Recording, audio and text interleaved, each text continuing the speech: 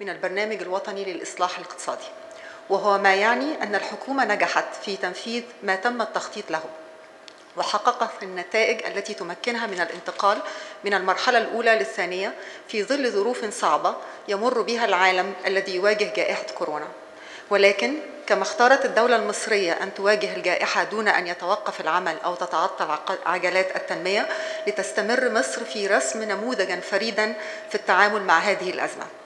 السيدات والسادة اسمحوا لي أن أدعو دولة رئيس الوزراء الدكتور مصطفى مدبولي لإلقاء كلمته. دولة الرئيس كلمة لحضرتك. بسم الله الرحمن الرحيم. السيدات والسادة الحضور اسمحوا لي في البداية طبعا أقول لحضراتكم جميعا كل سنة وحضراتكم طيبين بمناسبة شهر رمضان المبارك. وأدعو الله أن يعني يعيد دائما بالخير واليمن والبركات لمصرنا الحبيبة وجميع الشعوب العربية والإسلامية. واسمحوا لي طبعا أن أرحب في بداية كلماتي الحقيقة بكل الحضور الكرام من الحقيقة من الجهات اللي تمثل الدولة المصرية. ولكن أيضا طبعا معانا الحقيقة حضور مميز جدا. من طبعا الأعضاء مجلس النواب ومجلس الشيوخ المعنيين بالملف التنمية الاقتصادية في في مصر وأيضا طبعا مؤسسات المجتمع المدني وأيضا شركاء التنمية من المؤسسات الدولية. وده في إطار حرص الدولة المصرية ل يعني وتأكيد يعني حرصها الشديد على استمرار الشراكة مع كل مؤسسات المجتمع المدني الغير حكومية سواء المحلية أو الدولية في تنفيذ منظومة الإصلاح الاقتصادي الكبير اللي قامت بها مصر في خلال المرحلة الماضية. واسمحوا لي أستعرض مع حضراتكم يمكن أهم المحددات والمحاور اللي النهارده يمكن أنا وجدت أنا وزملائي من السادة الوزراء إنها فرصة مهمة جدا إن إحنا مع حضراتكم وفي وجود حضراتكم بنطلق ما ما نقدر نقول عليه المرحلة الثانية من برنامج الإصلاح الاقتصادي لمصر والمرحلة دي اللي هي بتختص في الأساس بالإصلاحات الهيكلية للقطاعات المختلفة اللي يعني بتحدد أهم مقومات الاقتصاد المصري ورؤية الحكومة للاهتمام بها في خلال المرحلة القادمة إن شاء الله مع بقية القطاعات اللي إحنا عارفين إنها بتؤثر وبتقود عجلة الاقتصاد المصري. واسمحوا لي يمكن هنا إن أنا ببدأ إن يعني الحكومة المصرية بدأت من 2016 المرحلة الأولى من برنامج الإصلاح الاقتصادي الشامل واللي يمكن الحمد لله بشهادة كل المؤسسات الدولية إحنا نجحنا في تنفيذه وهو الشق الخاص بالإصلاح النقدي السياسات النقدية والسياسات المالية. ولكن الحقيقة اللي إحنا شفناه واللي إحنا تعلمناه من كل تجارب العالمية وتجاربنا إحنا مصر شخصيا على مدار العقود السابقة إن لابد إن البرنامج الإصلاح الاقتصادي للسياسات أو الإصلاح للسياسات النقدية والمالية لابد أن يتكامل معه إصلاح هيكلي للقطاعات الخاصة بالاقتصاد عشان نضمن فعلا استدامة عملية التنمية للاقتصاد وإن هو ما تعثرش مرة أخرى. والحقيقة يمكن الحمد لله يمكن الإصلاح الاقتصادي والمرحلة الأولى من الإصلاح الاقتصادي حققت يعني نتائج بشهادة كل المؤسسات العالمية تعتبر يعني نتائج مبهرة ونتائج مميزة جدا. إحنا يعني خلينا نتكلم على نمو للناتج المحلي يعني قفز وهنا يمكن أن الأرقام اللي قدام حضراتكم دي كلها هي الأرقام اللي كان قبل جائحة كورونا وبالتالي دي كانت الأرقام اللي يعني الاقتصاد المصري قدر إن هو يحققها في إطار الظروف الطبيعية. يعني من من نسبة نمو كنا 2.9 من عشرة قفزنا إلى 5.6 من عشرة.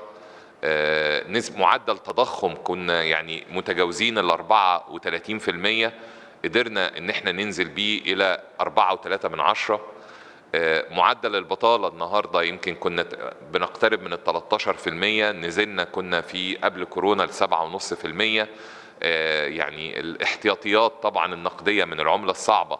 بعد ما كانت 13 مليار دولار كنا وصلنا ل 45 مليار دولار برضو قبل الحقيقة الكورونا ال ال ال نسبة عجز الموازنة قدرنا الحمد لله إن إحنا كنا نجبح جماعها بصورة كبيرة جدا وأيضا معدل الفقر لأول مرة نجحت الدولة المصرية إنها تاخده إلى منحنى النزول بعد ما كان 32.5% في 17 18 آخر أرقام طبعا إحنا كسرنا 30% وبقينا 29.7 من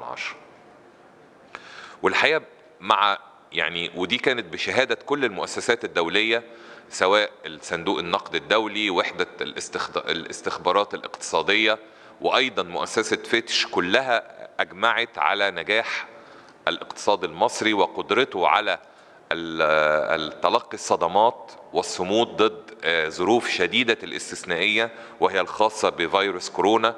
ويمكن وده اللي خلى مصر الحقيقة الحمد لله بشهادة كل هذه الجهات إن مصر من الدول المعدودة على أصابع اليد الواحدة في العالم اللي استطاعت إنها تحافظ على استقرار الاقتصاد وتحقق معدلات نمو إيجابية في ظل جائحة كورونا. وده اللي حضراتكم يمكن شايفينه النهارده لما نيجي نقارن الوضع اللي موجود على مستوى العالم. يعني يعني دي معدلات النمو اللي قدام حضراتكم إن يعني من كل دول العالم في 16 دولة فقط هي اللي نجحت إنها يبقى عندها نسبة نمو 1% أو أكتر. 11 دولة ما بين صفر إلى 1% ولكن 167 دولة الاقتصاد بتاعها انكمش يعني حقق نمو بالسالب. لكن مصر كانت من أسرع الاقتصادات واللي حققت نسبة نمو 3.6 من عشرة في المية. والناتج المحلي الإجمالي لمصر تجاوز ال 362 مليار. وده اللي خلاها يمكن ويمكن طبقا لتقرير صندوق النقد الدولي. هي تاني دولة على مستوى الدول العربية من حيث الناتج الإجمالي المحلي يعني بعد المملكة العربية السعودية مباشرة. طيب إحنا النهاردة بن... إيه الهدف من خلال اجتماعنا النهارده واللي بنشرف بوجود حضراتكم فيه؟ إن إحنا بنطلق الحزمة الثانية أو ما يعرف باسم المرحلة الثانية من برنامج الإصلاح الاقتصادي واللي هو بيؤكد على الإصلاحات الهيكلية للقطاعات وللمنظومة العمل والحوكمة اللي موجودة في الدولة المصرية بهدف يعني تحقيق الاستدامة لنمو الاقتصاد المصري وزيادة معدلات النمو المرجوة في خلال الفترة القادمة. وده الحقيقة اللي اتعلمناه زي ما كنت بقول في البداية إن برنامج الإصلاح للسياسات النقدية والمالية إذا لم يستتبعه مجموعة من الإصلاحات الهيكلية فسيكون مصيره زي دول كثيرة جدا اللي هي بتبقى بتقدر إنها تحقق معدل نمو لسنة أو اتنين وبعد كده بيرجع الاقتصاد مرة أخرى بيتراجع.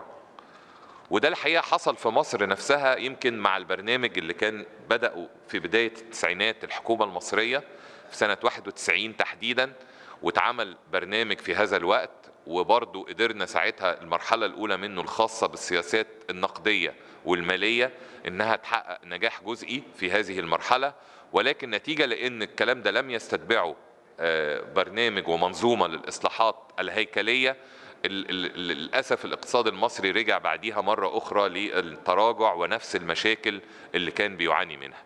ويمكن ده عشان كده كانت رؤية الحكومة يعني المصرية في هذه المرحلة حتى مع الظروف شديدة الاستثنائية اللي العالم كله بي يعني بيعاني منها في ظل جائحة كورونا إن لابد إن إحنا نطلق وفي هذه المرحلة بالذات برنامج أو المرحلة الثانية للإصلاحات الهيكلية لأن هدفنا وعنا زي ما حضراتكم هنشوف إن إحنا نقفز وننطلق بالاقتصاد المصري إلى معدلات نمو تبقى مستدامة ولا تتأثر بالظروف حتى الشديدة الاستثنائية اللي إحنا موجودينها.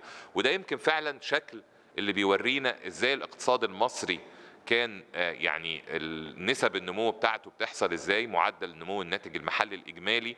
وكل ما كنا بنبدأ نتعافى والدنيا بتمشي بصورة جيدة بيبقى بتحصل بعض الهزات بتخلي الاقتصاد مرة أخرى يتراجع.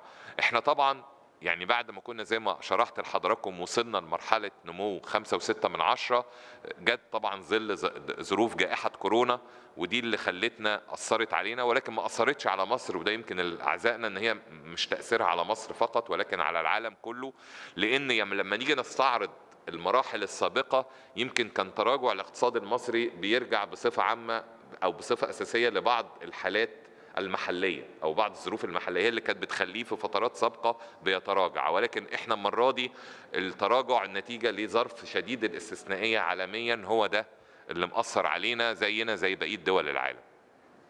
وعشان كده يمكن آه، اسمحوا لي أنا وطبعا كل زملائي الوزراء اللي حاضرين معايا النهارده هنعرض لحضراتكم الملامح الخاصة ببرنامج الإصلاحات الهيكلية ذات الأولوية للاقتصاد المصري اللي إحنا كلنا بنطلقها وبنتبناها خلال الثلاث أعوام القادمة بإذن الله.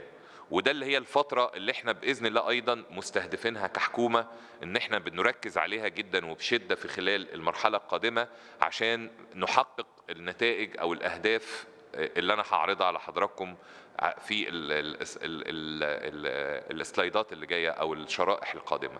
يمكن لأول مرة البرنامج الإصلاح الهيكلي هيبقى بيستهدف يعني ما يطلق عليه الجانب العرض الكلي بالاقتصاد.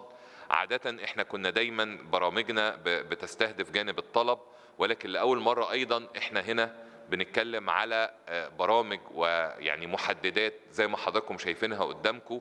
يمكن آه، سبع آه، مؤشرات مهمة جدا هنشتغل عليها في إصلاح هيكل الاقتصاد تحرير التجارة إصلاح منظومة التدريب المهني تطوير آه، أسواق ال- ال- المال الموضوع تطوير أسواق العمل والإصلاحات اللي هتتعمل في سوق العمل المصري وشكل فرص العمل الجديدة اللي إحنا بنستشرفها. التطوير الخاص بقطاع التعليم والمنتجات المصرية وتعميق ال- ال- المنتج المحلي في الصناعة المصرية في خلال المرحلة القادمة.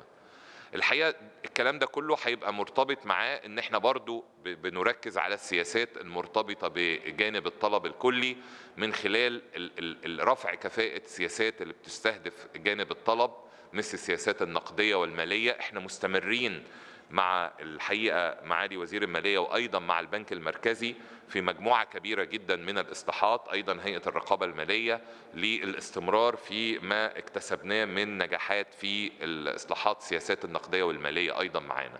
ولكن أيضا إحنا هنبقى شغالين على يعني تحديات كبيرة جدا إحنا معترفين بيها وعارفين إن الاقتصاد المصري بيعاني منها. في ال- الفترة القادمة إحنا داخلين بقوة شديدة جدا في نظم التحول الرقمي في كل مجالات الاقتصاد المصري. الحوكمة آه، آه، حل التحديات الخاصة بالتنسيق اللي ما بين الجهات وبعضها البعض تيسير الإجراءات تسهيل ال- ال- التجارة البينية ما بين مصر وال ال ال ال يعني بقية الدول في العالم وإزاي نبسط الإجراءات دخول وخروج المنتجات بالكامل. كل دي النهاردة إجراءات إحنا شغالين عليها في خلال المرحلة القادمة. الحقيقة يمكن الاقتصاد المصري دائما بيتميز ودي يعني شيء الحمد لله ربنا حبينا بيه إن الاقتصاد المصري متعدد يعني ما بيعتمدش على قطاع محدد بعينه. وده يمكن اللي خلى الاقتصاد المصري قادر على الصمود إن عندنا أكتر من قطاعات قطاع واحد الاقتصاد المصري بيعتمد عليهم ويمكن ده اللي حضراتكم شايفينه. إحنا الاقتصاد يعني في مجموعة من القطاعات فعلا هي اللي شايلاه ولكن يمكن رؤيتنا إن شاء الله الثلاث سنين القادمين إن أهم ثلاث قطاعات هنركز عليهم بصورة كبيرة جدا لإيمان الدولة المصرية. إن هذه القطاعات هي اللي هتدفع بصورة كبيرة عجلة النمو وزيادة نسب نمو الناتج المحلي الإجمالي وهي القطاعات الخاصة بالصناعات التحويلية والتكنولوجيا وأيضا قطاع الزراعة وقطاع الاتصالات وتكنولوجيا المعلومات. بالتأكيد في قطاعات أخرى زي قطاعات الطاقة وقطاعات التشييد والبناء دي كلها الحقيقة الاقتصا- الاقتصاد المصري معتمد عليها وهتستمر ولكن إحنا شايفين بصورة كبيرة جدا إن المرحلة القادمة عشان نحقق طفرة حقيقية ونسب نمو أعلى من النسب اللي إحنا بنستهدفينها إن إن شاء الله هيبقى هذه القطاعات الثلاثه هم الأولوية الأولى للاقتصاد المصري بإذن الله. إحنا حاطين هنا برامج وأرقام محددة اللي إحنا ان شاء الله بنستهدفها من خلال برنامج الاصلاح الهيكلي اللي هنبقى الاقتصاد المصري بنأمل إن هو هيسير بهذا المنوال في خلال المرحلة القادمة. إحنا بنتكلم إذا كنا النهارده نسب نمو الناتج المحلي بسبب كورونا 3.6 من عشرة إحنا بنتكلم على إن إحنا هنبقى بنتكلم على الأقل ما بين 6 إلى 7% في خلال الثلاث سنوات القادمة إن شاء الله. إن يكون نصيب قطاع الاتصالات وتكنولوجيا المعلومات من الناتج المحلي الإجمالي إذا كان النهارده بنضعفه إن من حوالي 2.7 من عشرة أو 2.8 من عشرة إلى 5% على الأقل. أيضا الصناعات التحويلية إنها تزداد من 12.5 إلى 15% قطاع الزراعة أيضا إن هو يزيد مع إن يبقى ميزان المدفوعات النهارده إذا كنا بالسالب إن إحنا النهارده ناقص 8.5 مليار دولار إن شاء الله بنستهدف إن يكون هناك فائض ما بين 3 إلى 5 مليار دولار في خلال المرحلة القادمة بإذن الله. هناك مستهدفات إن الحمد لله إن شاء الله بإذن الله هنكون قادرين بالرغم من كل التحديات إن إحنا نحققها إحنا النهارده يمكن من الدول القليلة اللي بقت لأول مرة بتحقق ما يطلق عليه الفائض الأولي في يعني كنسبة من الناتج المحلي الإجمالي. إحنا يمكن كنا حققنا ووصلنا إلى 2% جت يعني ظروف كورونا أجبرتنا إن الفائض الأولي ده يقل. ولكن إحنا بنستهدف إن شاء الله برضو إن إحنا نرجع مرة أخرى لرقم 2% اللي إحنا يمكن كنا حطيناه كمستهدف مع صندوق النقد الدولي والمؤسسات المالية الدولية. ولكن أيضا عنا في نفس الوقت على إن نخفض تدريجيا من العجز الكلي بالنسبة للناتج المحلي الإجمالي بحيث فعلا إن إحنا في عام 2023 24 نبقى نازلين ل 5.5% وده رقم مهم جدا النهارده إن إحنا نحققه إن إحنا بادين من أكتر من 8 في المية إن إحنا ننزل إلى خمسة ونص في المية في خلال المرحلة القادمة. أيضا عنا ودي نقطة دائما المؤسسات بتقولها لنا مؤشرات الاقتصاد المصري جيدة جدا بجميع المقاييس ولكن دائما التحفظ أو القلق من الدين. وبالتالي إحنا عنا بصورة كبيرة جدا على الدين في خلال المرحلة القادمة وإزاي إن إحنا يعني هنبقى بنحاول إن إحنا إن شاء الله الدين ما يرجعش ابدا للتصاعد بل على العكس إحنا بنثبت الدين في خلال العام المالي القادم ولكن بعد كده يبدأ ينزل تدريجيا للأرقام اللي كان المفروض إحنا ابتدينا ناخد المسار التنازلي ولكن يمكن ظروف كورونا هي اللي أدت إلى تباطؤ المسار التنازلي ده وإن إحنا بنحاول إن إحنا نثبته في وقت العالم كله ودول العالم شفنا إن أرقام الدين بتتصاعد بصورة كبيرة جدا جدا ولكن إحنا في مصر بنقول لأ إحنا هنثبت نسبة الدين بتاعنا وبالعكس هنرجع تاني في خلال السنتين ثلاثة القادمين بإذن الله ياخد المسار التنازلي. ده في نفس الوقت اللي إحنا برضو عنا على تحسين أوضاع معيشة كل المواطنين بما فيهم الموظفين والعاملين في الدولة. حضراتكم بتشوفوا إن نسب الأجور بتفضل زياداتها ثابتة وبتبقى ليها نسبة محددة من الناتج المحلي الإجمالي ومن الموازنة العامة للدولة في إطار المقبول وفي إطار الحوكمة. وبالتالي ده بيقودنا إن إحنا بنركز على محاور أساسية في أو خمس منظومات لعملية الإصلاح منظومة التشريعات وإزاي إن إحنا التركيز المرحلة القادمة على تسهيل وتبسيط التشريعات وتوحيدها منظومة الأداء الحكومي تيسير كل المعاملات الحكومية والميكنة والرقمنة لكل العمليات. موضوع اللوجستيات وتحقيق طفرة هائلة في منظومة كفاءة النقل واللوجستيات لخدمة المواطنين ومجتمع الأعمال. منظومة التمويل ومواصله طبعا تحقيق موضوع الشمول المالي وتيسير وتوزيع الحصول على الخدمات المختلفة. ويعني وأخيرا طبعا وليس اخرا موضوع الحقيقة خصائص وتطوير خصائص السكان والأسرة المصرية لأن طبعا دي مهمة جدا ويمكن الحمد لله جزء من نجاح البرنامج في المرحلة الأولى إن الدولة المصرية بالتوازي مع الجزء بتاع الإصلاح الاقتصادي كان بتقوم عملت برنامج قوي جدا للحماية الاجتماعية وده اللي خلى الحقيقة الحمد لله ما حصلش تأثيرات حد على الأسرة المصرية وبنستهدف يمكن الثلاث سنين القادمين إن إحنا بننفذ برنامج طموح لتحقيق الحماية الاجتماعية وتحقيق التطوير للأسرة المصرية وهو الخاص بمشروع حياة كريمة أو برنامج حياة كريمة اللي أطلقه فخامة الرئيس واللي إن شاء الله الدولة المصرية بتنفذه على مدار الثلاث سنوات القادمين بصورة مكثفة بهدف رفع مستوى اهالينا اللي موجودين في الريف المصري اللي بيمثلوا 58% من عدد سكان مصر. لكن شيء مهم جدا الحكومة المصرية متبنياه في خلال البرنامج بتاعها وهو تعزيز الاقتصاد الأخضر أو الجرين ايكونومي وده موضوع مهم جدا نصب أعيننا من خلال تركيز في كل مشروعاتنا وفي كل الاستثمارات سواء العامة والخاصه على أنشطة اقتصادية بتحقق موضوع خفض انبعاثات الكربون والتلوث وتعزيز كفاءة الطاقة والموارد الطبيعية الخاصة بمصر والحفاظ على التنوع البيولوجي. ودي موضوعات مهمة جدا النهاردة لم تعد طرف في ظل جائحة كورونا. الحقيقة دائما كل برامج الإصلاح الاقتصادي اللي بتعملها الدول أو بتنفذها بتبقى شديدة الصعوبة على المواطن. والمواطن المصري الحقيقة تحمل في خلال المرحلة الأولى من الإصلاح الاقتصادي أعباء كبيرة جدا وزي ما قلت لولا البرامج الخاصة بالحماية الاجتماعية الحقيقة هي دي اللي كانت مكنت الدولة المصرية من الصمود.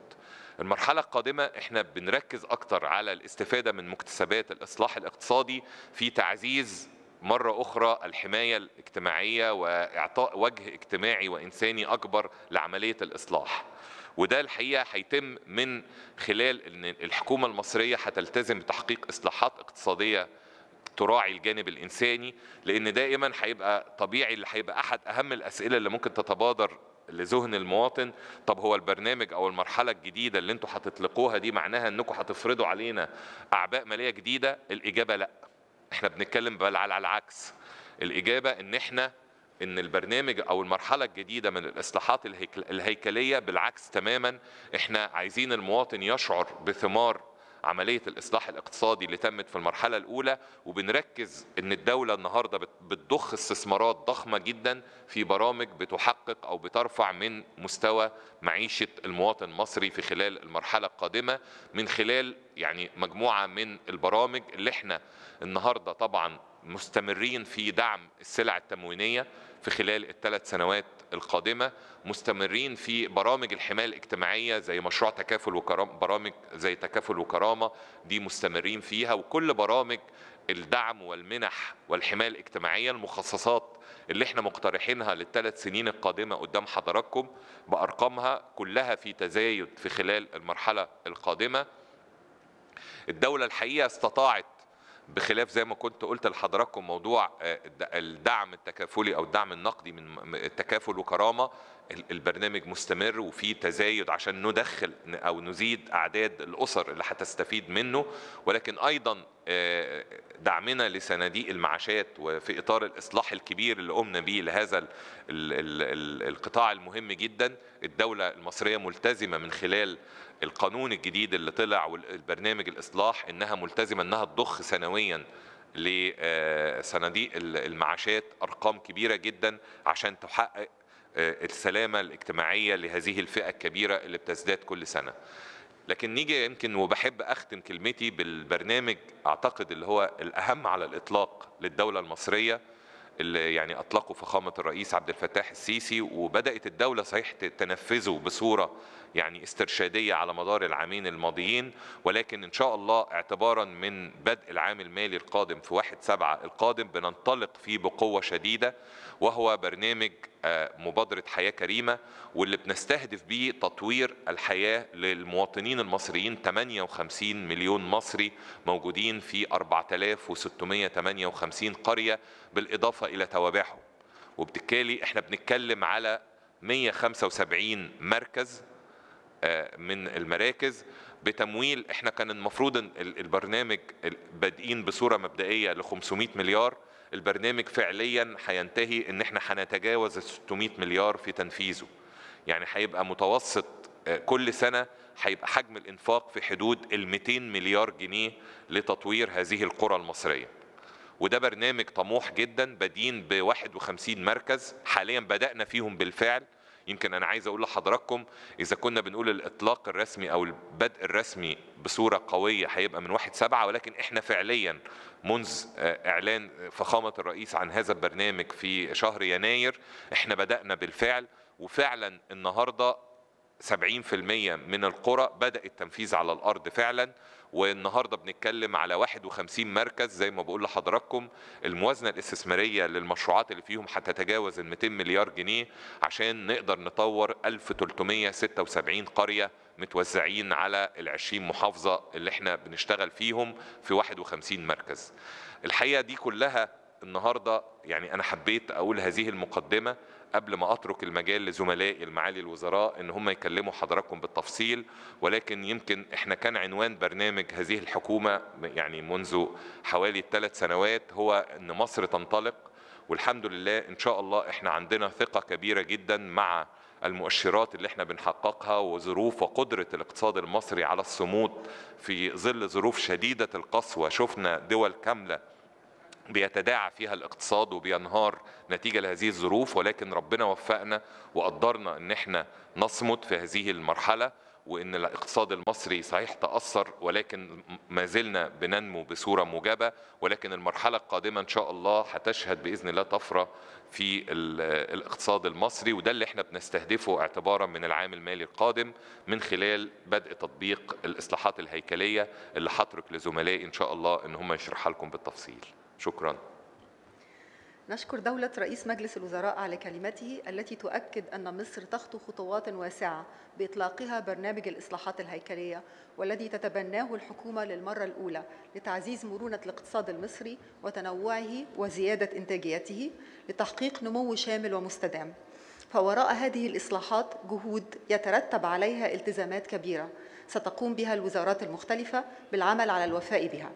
وعلى رأس هذه الوزارات وزارة التخطيط والتنمية الاقتصادية التي عملت على تصميم برنامج الإصلاحات الهيكلية بالشراكة مع باقي الوزارات ووضعت آليات التقييم والمتابعة لتنفيذ هذه الإصلاحات في إطار دورها في إحداث تنمية اقتصادية حقيقية. كلمة معالي وزيرة التخطيط والتنمية الاقتصادية معالي الوزيرة تفضلي. شكرا. بسم الله الرحمن الرحيم. دولة رئيس مجلس الوزراء دكتور مصطفى مدبولي السادة الزملاء والزميلات من الوزراء والخبراء ممثلي القطاع الخاص ممثلي المجالس مجلس النواب والشيوخ ممثلي القطاع الخاص والمجتمع المدني والمؤسسات الدولية. برحب بحضراتكم جميعا وكل سنة وحضراتكم طيبين بمناسبة شهر رمضان المبارك وقرب حلول عيد القيامة المجيد. اسمحوا لي أن أعرض على حضراتكم الرؤية الإجمالية لهذا البرنامج وزملائي وزميلاتي يبتدوا يعرضوا الجزء التفصيلي الخاص بكل وزارة.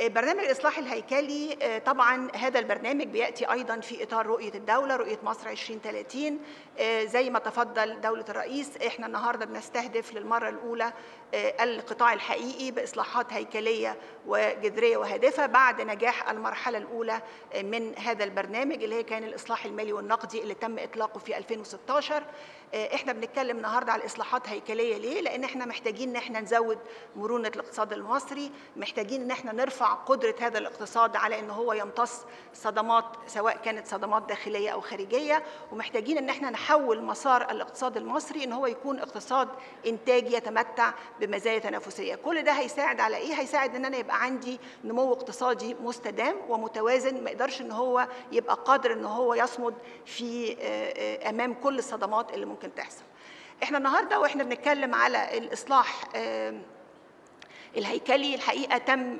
الاتفاق على ثلاث قطاعات رئيسية اللي هي بتقدر تقدر تعمل تغيير في هيكل الاقتصاد المصري. بنتكلم على تغيير الوزن النسبي للهيكل الانتاجي للاقتصاد المصري بالتركيز على ثلاث قطاعات أساسية قطاع الصناعة التحويلية قطاع الزراعة وقطاع الاتصالات تكنولوجيا المعلومات. محتاجين إن إحنا نزود هذه القطاعات لها وزن نسبي معين في الناتج المحلي الإجمالي في حدود 26% إحنا بنستهدف نستهدف أن يزيد هذا الوزن النسبي للثلاث قطاعات دول في حدود من 30 إلى 35% في إطار الفترة متوسطة المدى لهذا البرنامج طب اخترنا الثلاث قطاعات دول بناء على إيه؟ اخترنا الثلاث قطاعات دول لأن هم أولا لديهم قدرة عالية ونمو متسارع وزنهم النسبي في الناتج عالي وبالتالي كل ما الوزن النسبي بتاعهم كان مرتفع كل ما هم قدروا إن هم يحققوا نمو أكتر. عندهم قدرة توظيفية عالية. أنا محتاجة إن أنا أوفر فرص عمل وفرص عمل لائقة أكتر. محتاجة إن أنا أعمل قطاعات يبقى عندها تشابك مع قطاعات أخرى. وفي نفس الوقت يبقى أيضا عندهم قيمة مضافة وقدرة تنافسية دولية. الحاجة التانية لما ببص النهاردة على الدول اللي حققت قفزات تنموية. الدول ذات الدخل المتوسط المرتفع اللي حققت قدر من القفزات التنموية كانت بتركز على حاجتين بشكل أساسي. نسبة مساهمة قطاع الصناعة التحويلية من الناتج المحلي الإجمالي بيبقى عند هذه الدول في حدود 19 أو 19.5% والحاجة الثانية حصة صادرات قطاع الاتصالات وتكنولوجيا المعلومات من إجمالي الصادرات اللي هي بتصل أيضا عند هذه الدول في حدود 15 و7 من 10% فكان مهم جدا إن إحنا النهارده يبقى عندنا مجموعة من الأسس بنتحرك على أساسها إن أنا أزود نسبة مساهمة القطاعات الإنتاجية في هيكل الاقتصاد المصري زي ما قلنا القطاع الصناعه والزراعة والاتصالات. في نفس الوقت داخل كل قطاع أنا بغير هيكل القطاع ده نفسه عشان أزود تنافسيته بزود الصادرات السلعية من إجمالي الصادرات ومش بس الصادرات السلعية بتزيد ولكن داخل الصادرات السلعية أنا بزود نسبة المكون التكنولوجي أو ما يطلق عليه درجة ال complexity بتاعة هذه الصادرات. وطبعا شيء مهم جدا عنصر العمل والإنتاجية بيبقى عامل مهم جدا فإحنا محتاجين إن إحنا نزود إنتاجية العمل ونحسن بيئة الأعمال. عندي مجموعة من القطاعات. هذه القطاعات طبعا الأساسية دي بيبقى في عندي مجموعة من القطاعات الدولة والحكومة المصرية بتعمل عليها بشكل مستمر ودي بنقول عليها المحاور الداعمة للقطاعات الأساسية. المحاور الداعمة دي أهم محور عندي رفع كفاءة سوق العمل وتطوير منظومة التعليم الفني والتدريب المهني. إحنا دولة فيها 100 مليون وبالتالي الاهتمام بسوق العمل وتطوير منظومة التعليم الفني والمهني ده شيء مهم جدا. طبعا تحسين بيئة العمل وتنمية دور القطاع الخاص اللي هو شريك أساسي في عملية التنمية رفع كفاءة المؤسسات العامة بالتحول الرقمي والحوكمة وتعزيز الشمول المالي وإتاحة التمويل. وطبعا مما لا شك فيه زي ما اتكلم دولة الرئيس الحماية الاجتماعية ورأس المال البشري ده مكون أساسي معانا في كل محاور التنمية. طب إحنا المنهجية دي تمت بناء على إيه؟ كان في منهجية لبرنامج الإصلاح الدكتور رئيس مجلس الوزراء وجه بالبدء في وضع الأسس والمنهجية لهذا البرنامج من نوفمبر 2019 وطبعا وفق كل النهج الدولة المصرية بتنتهجه في كل البرامج بتاعتها وفي كل خططها دايما كل الخطط وكل البرامج هي بتقوم على نهج تشاركي مع كل شركاء التنمية فكان عندنا عشر جلسات حوارية مع المعنيين والخبراء. كان عندنا خمسين لقاء مفصل 1 تو 1 مع خبراء الصناعة والمتخصصين والأكاديميين. تلقينا مجموعة كبيرة جدا من المقترحات من اتحاد الصناعات اتحاد الغرف التجارية مجالس الأعمال المختلفة. طبعا استعنا مجموعة من المكاتب والخبرات الاستشارية زي ماكنزي وبين consultants. أجرينا دراسات خدنا كل هذا الكلام وأجرينا دراسات في وحدة السياسات الاقتصادية لتحليل وضع الاقتصاد الكلي نحدد فيه إيه هي مجالات الإصلاح؟ إيه هي أهم من كده كمان؟ أسبقية الإجراءات لأن إحنا النهارده عندنا إجراءات وخطة على المدى القصير والمدى المتوسط والمدى الطويل فكان مهم جدا إن إحنا نحدد مجالات الإصلاح وأسبقية الإجراءات القطاعية. بعد كده بعد ما اتفقنا على كل هذه الإجراءات والسياسات تم عقد أكثر من 20 لقاء مع الوزارات المعنية ببرنامج الإصلاحات وطبعا مجموعة كثيرة من اللقاءات مع دولة رئيس مجلس الوزراء. وبناء عليها حددنا أسبقية الإجراءات داخل القطاعات اللي هي لها أولوية وفقا لمعيارين مهمين هم سهولة التنفيذ أن تكون عندنا القدرات ويكون عندنا درجة التعقيد تبقى أقل وفي نفس الوقت مستوى التأثير لأن أنا ممكن أخذ مجموعة من الإجراءات ولكنها تبقى تأثيرها بياخد بيستغرق وقت طويل فبالتالي كان درجة تأثير هذه الإجراءات من العوامل المحددة لأسبقية هذه الإجراءات. بعد كده اتكلمنا طلع عندنا مجموعة من الإصلاحات هي إصلاحات محددة قابلة للقياس. والتقييم سواء كان تقييم كمي أو تقييم نوعي حددنا فيها الجهات المنوطة بتنفيذ الإصلاحات سواء على مستوى الوزارات المعنية. حتى كمان اهتمينا بأن تكون هذه الإصلاحات تم توطينها على مستوى المحافظات المختلفة. ثم حددنا المدى الزمني بدقة لتحقيق هذه المستهدفات. عندي مجموعة من الإصلاحات بتتم على المدى القصير. أخذنا له 18 شهر والمدى المتوسط وفي مجموعة أخرى من الإصلاحات بتتم على مدى الخمس سنوات.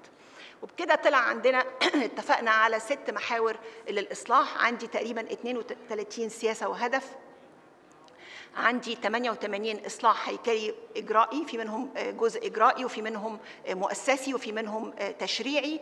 لهم أولوية من ال 310 إصلاح اللي إحنا مستهدفينهم. وطبعا اتأكدنا أن يتم توطين كل هذه الأهداف على مستوى محافظات الجمهورية. لما ببدأ بالقطاع الأول قطاع الصناعة وطبعا إحنا مستهدفين رفع معدلات الاستثمار في قطاع الصناعة تحويلية بشكل مستدام وإن أنا أزود نصيبه من الناتج المحلي الإجمالي. بنستهدف طبعا توطين وتعميق الصناعة ونمو سلاسل التوريد المحلية وإن أنا أعمق التشابكات اللي بتحصل. بنتكلم على اندماج في مراحل أعلى مراحل أعلى من سلاسل القيمة يعني مراحل لها مكون تكنولوجي أعلى على المستوى الإقليمي وطبعا جزء الصادرات النهارده إن أنا أبقى بعمل نهوض بالصادرات الصناعية وزيادة قدرتها الصناعة التنافسية.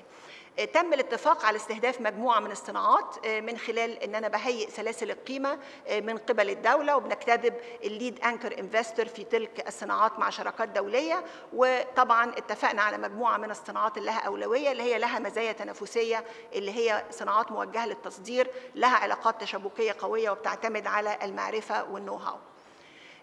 بعد كده نتكلم على النهارده برضو بنبص شيء مهم جدا إن إحنا عندنا نسبة صادرات المنتجات مرتفعة التكنولوجيا إلى إجمالي الصادرات ده مكون هام جدا لأن إحنا النهارده حصل عندنا الحقيقة تحسن في نسبة المنتجات مرتفعة القيمة التكنولوجية إلا إننا بنحتاج استدامة هذه الجهود وزيادة نسبتها حضراتكم هذا التشارت بيبين يعني المعلومات اللي فيه بتبين الصادرات اللي فيه قد إيه عندي نسبة منتجات أولية قد إيه عندي منتجات منخفضة القيمة التكنولوجية قد إيه عندي منتجات مرتفعة القيمة التكنولوجية وقد إيه عندي منتجات متوسطة القيمة التكنولوجية وموارد أولية. وبالتالي إحنا النهارده زي ما حضراتكم شايفين إحنا نسبة المكونات مرتفعة التكنولوجيا أخذة في التحسن على مدى السنوات الماضية وده شيء جيد جدا ولكن محتاجين إن إحنا نرفع هذه النسبة ونرفع أيضا نسبة المكونات مرتفعة التكنولوجيا. الشيء الثاني أيضا إنه أسواق الصادرات. إحنا النهارده أيضا جاري مراجعة كل اتفاقيات التبادل التجاري بين مصر والعديد من الدول لربط السياسة التصنيعية بالسياسات التجارية وبالأخص مع الدول الأفريقية باعتبارها سوق واعد للمنتجات المصرية. الشيء الثاني إن إحنا النهارده قطاع مهم جدا وده يعني زميلتي معي وزيرة التجارة والصناعة تتكلم عليه طبعا بشكل أكثر تفصيل. مشاركة قطاع المشروعات الصغيرة والمتوسطة وخاصة بعد ما الحكومة المصرية أطلقت القانون الجديد وأطلقت اللائحة التنفيذية قطاع المشروعات الصغيرة والمتوسطة هو قطاع عندي مليون وسبعمائة مليون منشأة عندي خمسة تقريبا ستة مليون مشتغل فيه. وفي نفس الوقت هو نسبته من الصادرات 10% وإحنا مستهدفين زيادته إلى 20%. فأنا مستهدفاتي لهذا القطاع إن أنا النهارده بتكلم على قطاع نسبته من الناتج 11 و7% أنا مستهدفة إن هو يزيد ل 15% مستهدفة إنه يزيد نسبة المشتغلين في هذا القطاع من 12.5% إلى من 18 و20 وده معناه إن أنا هيوفر لي من 400 460 ألف فرصة عمل جديدة سنويا. ليه إحنا بنركز على قطاع الصناعة؟ لأن إحنا بنتكلم النهارده إن إحنا عايزين فرص عمل وفرص عمل لائقة. فبالتالي بنعول على هذا القطاع بشكل كبير زيادة معدلات التوظيف بالمشروعات الصغيرة المتوسطة من 51% إلى 61% زيادة نصيب الصادرات ذات المكون التكنولوجي المرتفع من 3% عايزينها تزيد 20% كل سنة عن هذه النسبة. وزيادة نصيب الصادرات ذات المكون المتوسط التكنولوجي المتوسط هي already نسبتها عالية 31% فإحنا مستهدفين أيضا إن إحنا نزودها 10% وزيادة طبعا صادرات السلع الصناعية كإجمالي كنسبة من إجمالي الصادرات بنسبة 15%. القطاع الثاني الهام هو قطاع الزراعة ويمكن الحقيقة قطاع الزراعة وزي ما كان بيتكلم دولة الرئيس إحنا لأول مرة الحكومة منذ سنوات طويلة بتستهدف قطاع الزراعة في أولوياتها وده شيء مهم جدا طبعا لأنه هذا القطاع إحنا بنتكلم على زيادة أهدافنا فيه زيادة إنتاجية القطاع وتحسين تنافسيته بنتكلم على تحقيق الأمن الغذائي والأمن المائي بنتكلم على زيادة الصادرات الزراعية اللي الحقيقة الحمد لله حصل لها طفرة كبيرة جدا خلال فترة الجائحة وزي ما بنقول يعني مرحلة الجائحة دي كانت فرصة كبيرة جدا استغلتها الدولة المصرية والحكومة إن هي تقدر تحسن فيها وتصلح من أمور كثيرة جدا ففي زيادة كبيرة جدا في نسبة الصادرات الزراعية استغليناها لوصول الصادرات الزراعية والفواكه بشكل أساسي إلى أسواق مختلفة. وطبعا مش بس إحنا بنركز على الزراعات ولا أصحاب المزارع الكبرى ولكن إحنا بنتكلم وفي تركيز في هذه الخطة على صغار المزارعين وتحسين متوسطات الدخل لصغار المزارعين. الخطة بتستهدف طبعا إنفاذ اتفاقات الزراعات التعاقدية ومعالي وزير الزراعة هيشرح الكلام ده تفصيلا. بنتكلم على إنشاء مجمعات مراكز لوجستية central hubs عشان تحل مشاكل التسويق والتصدير. بنتكلم على تعظيم القيمة النقدية للمتر المكعب من المياه وده النهارده الحقيقة بيساعد بشكل كبير جدا كل الخطط اللي الدولة بتعملها عشان وفر في المياه وعشان خاطر منظومة الحيازات الزراعية الجديدة والحقيقة في نفس الوقت أيضا بما إن هذه الخطة مش بس بتتكلم على سياسات وإجراءات ولكن أيضا بنتكلم على تعديلات تشريعية لها أولوية فإحنا بنتكلم أيضا على قانون الزراعة الذي لم يحدث من سنة 66 ده أيضا في خطة التطوير وأيضا قانون مهم جدا وهو قانون التعاونيات لدور التعاونيات الهام جدا في مجال الزراعة. فاحنا النهارده مستهدفين زياده نصيب قطاع الزراعه من 11% إلى 12% بنتكلم على زياده في الإنتاجية بنسبة 30% بنتكلم على زيادة 430 ل 530 ألف فرصة عمل جديدة بحلول عام 2024 عايزين نضاعف حصة قطاع الزراعة في الصادرات. هي وصلت الحمد لله زادت وصلت إلى 17% ولكن إحنا مستهدفين إنها تصل إلى 25% والحقيقة عندنا كل المقومات اللي توصلنا إلى هذا. وأيضا ده هيساعد في تحسين ترتيب مصر في مؤشر الأمن الغذائي والعالمي من المرتبة 60 إلى المرتبة 50 من بين 113 دولة.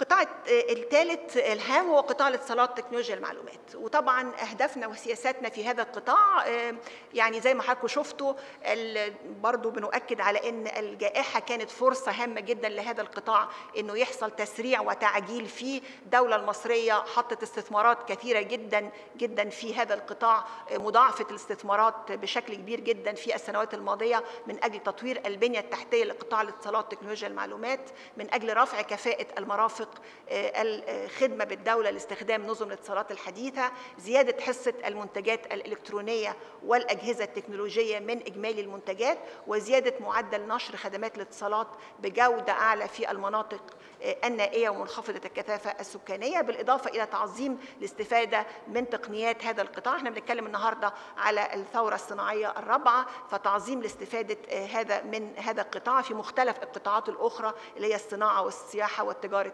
exam. ليه كمان الاهتمام بهذا القطاع؟ لأن زي ما حضراتكم عارفين النهارده العالم كله بيتكلم على وظائف جديدة. نتكلم على وظائف المستقبل نتكلم على وظائف مرتبطة بروبوتات وظائف مرتبطة بالبيانات الضخمة بأنظمة الذكاء الاصطناعي بالطباعة ثلاثية الأبعاد بالعملات الرقمية. بنتكلم على وظائف بعد الجائحة أيضا خلت إن هذه الوظائف قد في بعض الوظائف قد تندثر وبالتالي ده كله بيتطلب تعزيز مهارات كلها لوظائف المستقبل خاصة بمهارات رقمية وبحث وتطوير وتفكير منطقي ونقدي وإبداع وتقنية معلومات. فعندنا مجموعة من المستهدفات لهذا القطاع. نتكلم على زيادة مساهمة القطاع في الناتج المحلي الإجمالي من 2% إلى 5% نتكلم على الحفاظ على معدلات مرتفعة للقطاع مستدامة.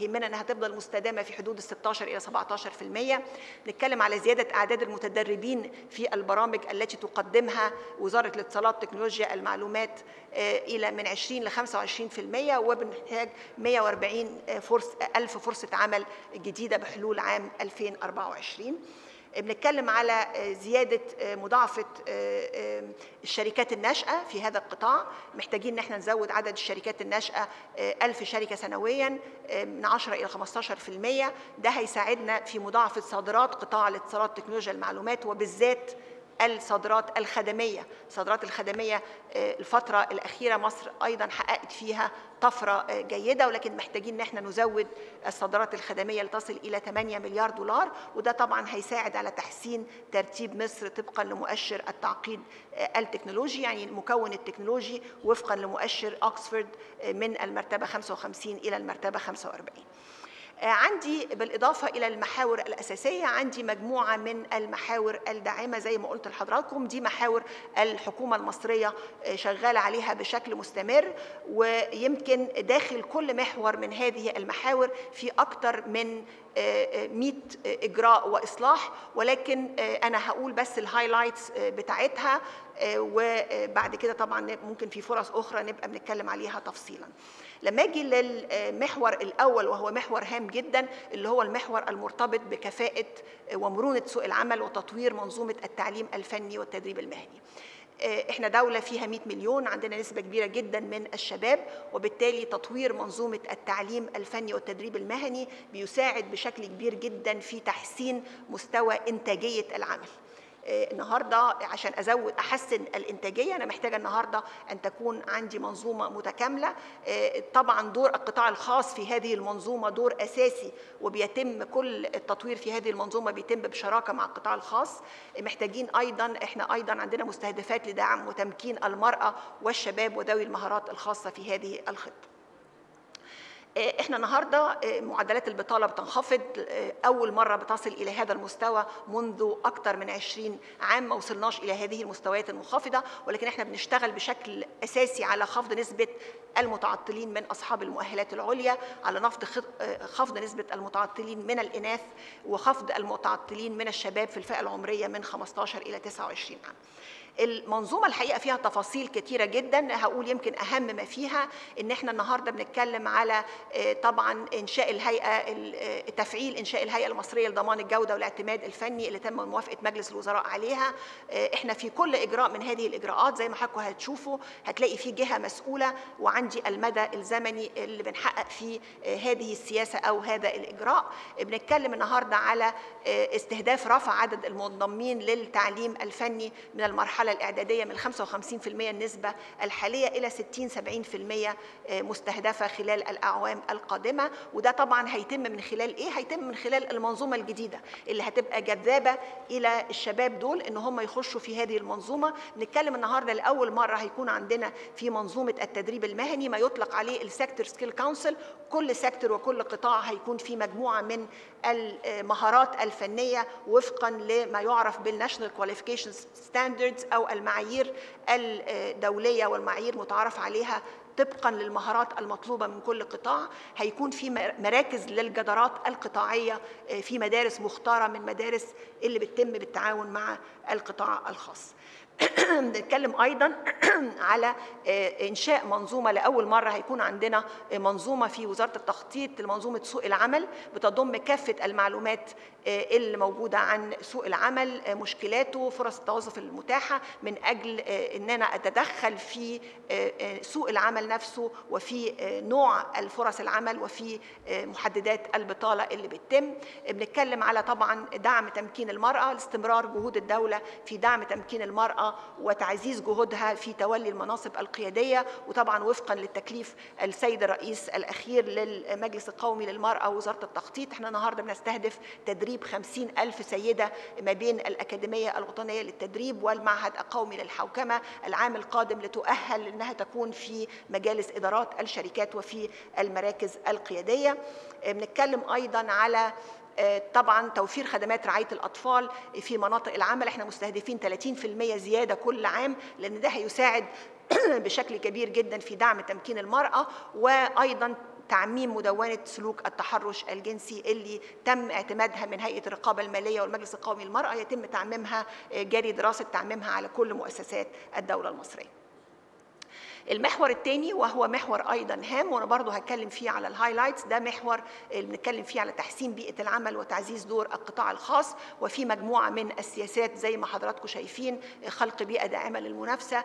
طبعا نقطة مهمة جدا كان دايما بنتكلم على حركة التجارة عبر الحدود التطور اللي حصل فيها واللي هيمستمر الفترات القادمة. النهارده دور شراكة القطاع الخاص في قطاع مهم جدا زي قطاع النقل ودعم التحول الاقتصاد الأخضر والمستدام. النهارده بنتكلم على طبعا خلق بيئة داعمة للمنافسة. بنتكلم على النهارده الحكومة بتطرح إن شاء الله قبل نهاية هذا العام مجموعة متنوعة من الشركات للقطاع الخاص في البورصة المصرية لتوسيع قاعدة الملكية. بنتكلم أيضا على تبسيط وميكنة إجراءات الإفراج الجمركي نظم المعلومات المسبق الدفع. ده كان طلب ملح دايما من أصحاب الأعمال. العمل النهارده بنظام إدارة تحليل المخاطر على الواردات. بنتكلم النهارده على أيضا تطبيق نظام الإفراج بالمسار الأخضر ويمكن معالي وزير المالية لما يعني شرف هيحضر يتكلم على كل هذه الأمور بالتفصيل. بنتكلم النهارده على أيضا اشراك القطاع الخاص في تفعيل قانون 2018 اشراك القطاع الخاص في منظومة النقل وتقديم خدمات النقل.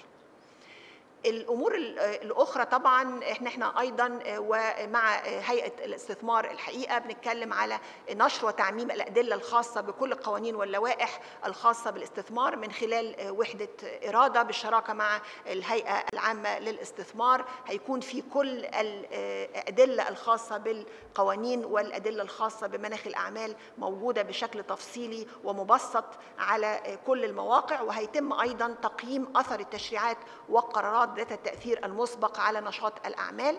بالنسبة للمحور الهام اللي تفضل بعرضه دولة الرئيس وهو دعم التحول الاقتصادي الأخضر والمحافظة على الموارد كان دايما المجتمعات والحكومات بتنظر للتحول الاقتصادي الأخضر على أنه مكلف. الحقيقة ده النهاردة مزاياه وأثاره الاقتصادية والاجتماعية والبيئية عالية جدا. وبالتالي إحنا النهاردة بالتعاون مع وزارة البيئة أطلقنا والحكومة المصرية أطلقت أول دليل لمعايير الاستدامة البيئية على مستوى الحكومة المصرية بالنسبة للمشروعات العامة. بيتم تعميمه النهارده على مستوى القطاع الخاص. أيضا بيتم دراسة تطبيق معايير ترشيد الطاقة في العمليات الإنتاجية في الصناعة كثيفة الاستهلاك وبحيث إن هي هذه المشروعات تحصل على شهادة الآيزو 50 5001 وطبعا وزارة البيئة مع وزارة البيئة شغاله على الاعتماد إعداد الاستراتيجيه الوطنية للعمل المناخي وتكثيف الجهود الوطنية لتعزيز هذا المجال من قبل المجلس الوطني للتغيرات المناخية. طبعا من ضمن التشريعات المهمة جدا واللي بتساعد مجال الأعمال هو مراجعة قانون ضمان حقوق الملكية الفكرية بما يتوافق مع المعايير العالمية لتشجيع تطوير كل المنتجات وحماية رواد الأعمال والمستهلكين المصريين. المحور الثالث الداعم وأنا هنا طبعا هبتدي بقى أتكلم بسرعة عشان الوقت وأدي فرصة أكتر لزملائي إن هم يتكلموا. إحنا بنتكلم طبعا رفع كفاءة المؤسسات العامة من خلال تحول رقمي وحوكمة. زميلي وزير الاتصالات ووزير قطاع الأعمال هيتكلموا طبعا بشكل أكثر تفصيلي عن حوكمة أداء الشركات المملوكة للدولة. لكن إحنا طبعا بنستهدف أيضا وجود مجموعة من المؤشرات الخاصة بالوحدات المحافظات إن أنا يبقى عندي النهارده مؤشر تنافسية خاصة على مستوى المحافظات هيتم الانتهاء منه هذا العام. بنتكلم على أيضا مؤشر التنافسيه المحلية. بنتكلم أيضا على وضع استراتيجية لتطوير الربط المعلوماتي بنتكلم على حوكمة أداء شركات المملوكة للدولة. زي ما قلت المعالي وزير القطاع الأعمال هيتكلم عليه بشكل أكثر تفصيلا. في مجال الشمول المالي والتحول إتاحة التمويل وهذا طبعا محور داعم هام جدا. بنتكلم على طبعا تسريع وتيرة الشمول المالي سواء من قبل وزارة المالية البنك المركزي وهيئة الرقابة المالية. تنشيط سوق المال والبنك المركزي والهيئة الرقابة المالية بيستمروا في ضخ من أموال لتنشيط سوق المال بالإضافة طبعا إلى برنامج الطروحات اللي الحكومة المصرية هتبقى بتطرح مجموعة متنوعة من هذه الشركات في نهاية هذا العام وطبعا عندنا الاستراتيجية الوطنية للشمول المالي اللي البنك المركزي بيقودها بالتعاون مع مجموعة من الوزارات منها وزارة المالية ووزارة التخطيط وهيئة الرقابة المالية. إحنا النهارده طبعا بنتكلم على تفعيل البدء في تطبيق نشاط التمويل مجموعة كبيرة بقى من الأنشطة الخاصة بالشمول المالي زي مش هطيل على حضراتكم ال insurance ال consumer finance وال nano finance مجموعة كبيرة من بالإضافة إلى طبعا تنشيط سوق المال مبادرة البنك المركزي لدعم البورصة المصرية. المحور الأخير كمحور من المحاور الداعمة وده محور مرتبط طبعا برفع كفاءة الخدمات الصحية تفعيل استراتيجية تنمية الأسرة واستكمال جهود تغطية مظلة الحماية الاجتماعية. وده طبعا استكمال لكل الجهود اللي الدولة والحكومة المصرية قامت بيها الأعوام الماضية. ولكن يمكن هقول حاجة سريعة على استراتيجية اللي هامة وهي استراتيجية تنمية الأسرة المصرية وده اللي بختتم فيه إن إحنا النهاردة بنتكلم على استراتيجية طموحة جدا. كل الجهود دي الحقيقة مش هنقدر إن إحنا نحققها من غير ضبط معدلات النمو السكاني. وإحنا هنا بنتكلم على مش بس ضبط معدلات النمو السكاني ولكن بنتكلم على أيضا الارتقاء بخصائص السكان من خلال هذا المحور. الارتقاء بخصائص السكان من حيث الصحة من حيث التعليم من حيث الثقافة من حيث التدريب من حيث الاهتمام بالأنشطة الشبابية. الاستراتيجية قايمة على مجموعة من المحاور. محور هام فيها هو التمكين الاقتصادي للمرأة لأن ده محور مهم جدا. محور تاني هو محور التدخل الخدمي اللي بيتاح كل الخدمات الخاصة بتنظيم النسل بالمجان للجميع. محور هام وهو محور التدخل الثقافي والتوعوي ومحور التحول الرقمي ميكنة كل المنظومة الخاصة بتنمية الأسرة بالإضافة إلى بعض التشريعات الهامة جدا اللي إحنا محتاجين نأكد عليها لدعم تنمية الأسرة المصرية زي تغليظ عقوبة عمالة الأطفال وعدم تسجيل المواليد وزواج القاصرات. ختاما إحنا النهارده كل هذه الخطة بتحتاج طبعا متابعة أداء وبرنامج لهذا البرنامج. فإحنا عندنا آلية في لجنة برئاسة رئيس مجلس الوزراء وإحنا بنشرف إن إحنا مقررين لهذه اللجنة دي لجنة عليا. إحنا طبعا عندنا مجموعة كبيرة من المؤشرات سواء كانت مؤشرات كمية أو مؤشرات كيفية. عندنا مجموعة من اللجان التيسيرية وفقا لكل محور من هذه المحاور كل وزير مسؤول بيقود هذه اللجنة التيسيرية بحيث إن إحنا نقدر بشكل مستمر يبقى عندنا تقييم أداء. ممكن في فترة من الفترات إحنا النهارده هذه الخطة كلها هي خطة ديناميكية. في فترة من الفترات ممكن نغير بعض المستهدفات أو ممكن تطرأ علينا مستهدفات محتاجين إن إحنا نطورها بشكل أفضل. فدي كلها رؤية متكاملة. وبشرف إن أنا يعني مقرر لهذه اللجنة مع زملائي من الوزراء والوزيرات وتحت إشراف دولة رئيس مجلس الوزراء. بشكركم جميعا على حسن الاستماع. شكرا. نشكر معالي وزيرة التخطيط والتي قادت العمل خلال الأشهر الماضية في تصميم هذا البرنامج هي وفريق العمل بوزارة التخطيط والتنمية الاقتصادية. لعل أبرز ما يميز مستهدفات برنامج الإصلاحات الهيكلية في قطاع الصناعة أنه لا يستهدف فقط زيادة الأنشطة الصناعية أو الصادرات في هذا القطاع بل يسعى برنامج الإصلاحات الهيكلية لتحديث القطاع بالكامل ليصبح مواكبا للمتغيرات العالمية وقادرا على المنافسة ومتكاملا مع سلسلة القيمة العالمية ومحققا عائدا مباشرا على مصلحة المواطن. ندعو الآن وزيرة الصناعة والتجارة الخارجية لاستعراض مستهدفات برنامج الإصلاحات الهيكلية في قطاع الصناعة. معالي الوزيرة كلمة لحضرتك. شكرا دولة رئيس مجلس الوزراء، السادة الوزراء، السادة ممثلي مجلس النواب ومجلس الشيوخ، ممثلي المجتمع المدني والشركات الخارجية الدولية. أنا هتكلم على الأهداف الاستراتيجية لقطاع الصناعة وأنا هنا عايزة أوضح أن الدولة بتنظر للإصلاح الاقتصادي لقطاع الصناعة بشكل مختلف يختلف عن أي برنامج حكومي سابق. كان في السابق صانع القرار الاقتصادي عادة بيستهدف زيادة معدلات النشاط الصناعي أو الصادرات الصناعية وليس تحديث وتنظيم المنظومة ذاتها. إحنا النهارده بنهدف لتحديث القطاع الصناعي بحيث يكون قادر على توطين وتعميق الصناعة بشكل يحفز نمو سلاسل التوريد وتعميق التشابكات بالقطاعات إن هو يكون مواكب للمتغيرات العالمية إن هو يكون قادر على توليد قيمة مضافة أكبر قادر على الاندماج الأعلى في سلاسل القيمة العالمية والإقليمية والمنافسة في الأسواق الدولية. بالإضافة أنه نوفر قطاع يكون دعم للمصنع المصري صاحب المشروع الصغير والمتوسط ومتناهي الصغر يوفر فرص حقيقية لأصحاب المشروعات الكبرى من المصنعين الوطنيين والدوليين على حد سواء وبالتالي يحافظ على حقوق الأجيال القادمة من خلال تبني التقنيات صديقة البيئة الخضراء في الإنتاج. وفي نفس الوقت نحاول إن إحنا يبقى عندنا قطاع رسمي منظم قادر على النمو والتطور.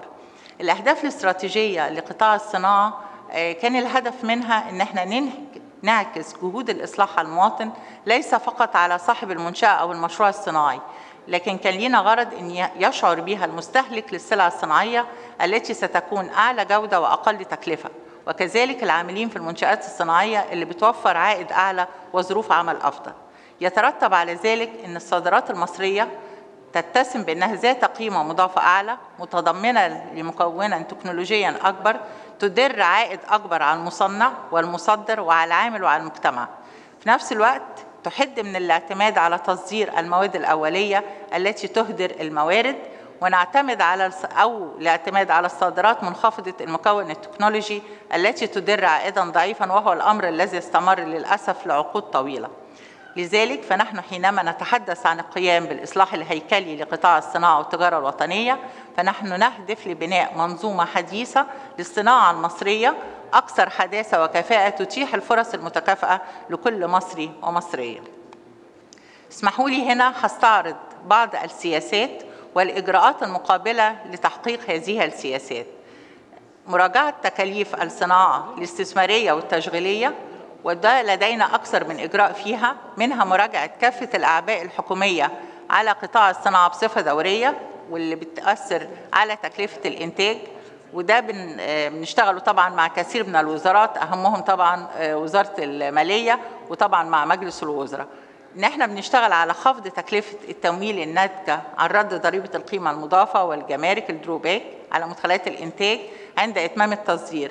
كل ده علشان نضمن الاستفادة من هذه الأنظمة لتشجيع الصادرات الصناعية وده بيتم بالتنسيق طبعا ما بيننا وبين وزارة المالية. في إجراء مهم جدا بنشتغل عليه المرحله دي وهو حوكمة منظومة استغلال الأراضي للوصول لأفضل آلية ممكنة للاعتماد عليها ونتيح الاستغلال الأمثل للأراضي الصناعية بشكل كامل. وهذا الإجراء بالأخص إحنا دولة رئيس مجلس الوزراء مشكل لجنة لمراجعة جميع الأراضي اللي تم تخصيصها للصناعة بحيث إن إحنا نتأكد فعلا من إن هي بتستخدم الاستخدام الأمثل وعاملين مراجعة بحيث إن إحنا الأراضي التي لم يتم استخدامها للاستخدام الأمثل هيتم اتخاذ الإجراءات اللازمة ليها. على الجانب الآخر في موضوع الأراضي إحنا لدينا محور الدولة بتشتغل عليه وهو محور المجمعات الصناعية إن إحنا بديل عن إتاحة الأرض وإن هو صاحب المصنع يقوم بإنشاء المصنع إن إحنا هنتيح مجمعات صناعية مش مجرد إنها مجمعات صناعية صغيرة أو متوسطة فقط ولكن إن إحنا بنشتغل على منظومة مجمعات على مستوى الجمهورية وتغطي جميع المحافظات. المحور الآخر إن إحنا بنسعى لتوفير سوق مناسب وتحفيز الطلب الداخلي والخارجي الموجه للتصدير. ابتدينا إن إحنا نعظم الاستفادة من الاتفاقات التجارية زي ما معالي وزيره التخطيط دكتورة هالة نوهت إن إحنا في لجنة مشكلة لمراجعة الاتفاقيات التجارية اللي مصر وقعت عليها علشان نربط ما بين السياسات التجارية والسياسات التصنيعية لاستهداف أسواق معينة والاستفادة من الفرص الموجودة بيها والاندماج في سلاسل القيمة العالمية. الجزء الآخر الإجراء الآخر اللي بنشتغل عليه إن إحنا بنربط كافة الحوافز بنسبة القيمة المضافة الحقيقية ومن أهم هذه الحوافز هو حوافز دعم الصادرات. وأنا موضوع دعم الصادرات تم يعني دراسة إن إحنا برنامج لمدة ثلاث سنوات اختصينا بتوجهات الدولة إن هو يتم التوجيه لدعم الصناعات بعينها على سبيل المثال صناعة السيارات. بعض الأحيان صناعة التوجه أنا أسف التوجه للسوق الأفريقي فإحنا بنزود الدعم الموجه للصادرات لأفريقيا على الجزء الآخر زيادة نسبة الدعم الموجه لتكلفة الشحن علشان نخلي المنتج المصري له قيمة منافسة. فإحنا موضوع دعم الصادرات بنشتغل عليه بشكل أشمل. وإن شاء الله في القريب العاجل يعني في خلال أسبوع أو عشرة أيام إحنا هيتم إطلاق برنامج دعم الصادرات لمدة ثلاث سنوات والموجه لجميع المنتجات المصرية. بنشتغل كمان على تطوير البنية التحتية للجودة من مؤسسات مواصفات قياسية جهات مطابقة معامل اختبارات والرقابة على جودة المنتجات الموجهة للأسواق المحلية والتصديرية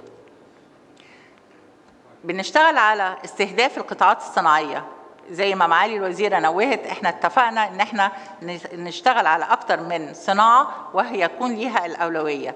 منها الصناعات الهندسية تشمل صناعة السيارات والسلع المعمرة الصناعات الغذائية صناعة الغزل والنسيج الصناعات الدوائية والمستلزمات الطبية ومستحضرات التجميل. في نفس السياق نشتغل على إقامة تجمعات صناعية كلاستر وده بيتيح مزايا كثيرة جدا منها تحقيق وفرات من المدخلات الصناعية تحقيق حجم أمثل لاستخدام الآلات والطاقات الإنتاجية لمواجهة الطلبات كبيرة الحجم زيادة التخصص تقسيم العمل مما يحسن كفاءة الإنتاج تشجيع تبادل الخبرات والأفكار والمعلومات بما يحسن من جودة المنتجات ويؤدي لزيادة الأرباح السوقية ورفع القدرة التنافسية نتيجة تكامل الأنشطة. إحنا عندنا أكبر دليل على الكلاستر أو التجمعات الصناعية المجمع الروبيكي لصناعة الجلود. هو في الفترة المرحلة الأولى كان بيشتغل على الدباغة ولكن إحنا بصدد إقامة منطقة صناعية ملاصقة ليه. عبارة عن 100 مصنع مركز تدريب مركز تكنولوجي 70 ورشة معرض للمنتجات محلات لبيع مستلزمات الإنتاج على أساس إن إحنا نخلق تجمع صناعي متكامل. دعم المشروعات الصغيرة والمتوسطة وإحنا هنا أنا عايزة أنوه لشيء مهم جدا اللي هو إصدار اللائحة التنفيذية الخاصة بالقانون اللي تم الموافقة عليه في الفصل التشريعي السابق. تم إصدار قانون المشروعات الصغيرة والمتوسطة ومتناهية الصغر العام الماضي. اشتغلنا على اللائحة التنفيذية وتم إصدارها بتصديق من مجلس الوزراء تم إطلاقها يوم 5 إبريل. هذا القانون وهذه الحوافز هتساعد في دعم وتنمية هذا القطاع بشكل شامل. معالي الوزيرة نوهت في العرض لما يستحوذه هذا القطاع وأهميته في توفير فرص العمل إن إحنا عايزين نزود الصادرات في المشروعات الصغيرة إن إحنا نوصلها من 10 ل 20 باقرار هذا القانون وإن نبتدي نشتغل بتنفيذ اللائحة التنفيذية بتاعته إحنا هنقدر نصل إلى النسب اللي معالي الوزيرة قالتها إن إحنا مستهدفينها وجايز كمان أكتر لأن كثير من الحوافز في اللائحة التنفيذية أهمها إن هو بيتكلم على إجراءات يتم العمل بيها لدمج القطاع الغير رسمي في القطاع الرسمي. على مدار سنوات الدولة كانت هناك مبادرات إنها تدمج القطاع الغير رسمي في القطاع الرسمي ولكن مبادرات ما كانتش بتؤتي بالنتائج اللي إحنا كدولة أو كحكومة بنطمح فيها. ولكن بتفعيل اللائحة التنفيذية لهذا القانون هنقدر إن إحنا نعمل دمج للقطاع الغير رسمي في القطاع الرسمي من خلال عدة آليات. في آلية لتوفيق الأوضاع إن إحنا ممكن نتيح له التراخيص لمدة قد تصل إلى خمس سنوات لغاية لما يوفق وضعه.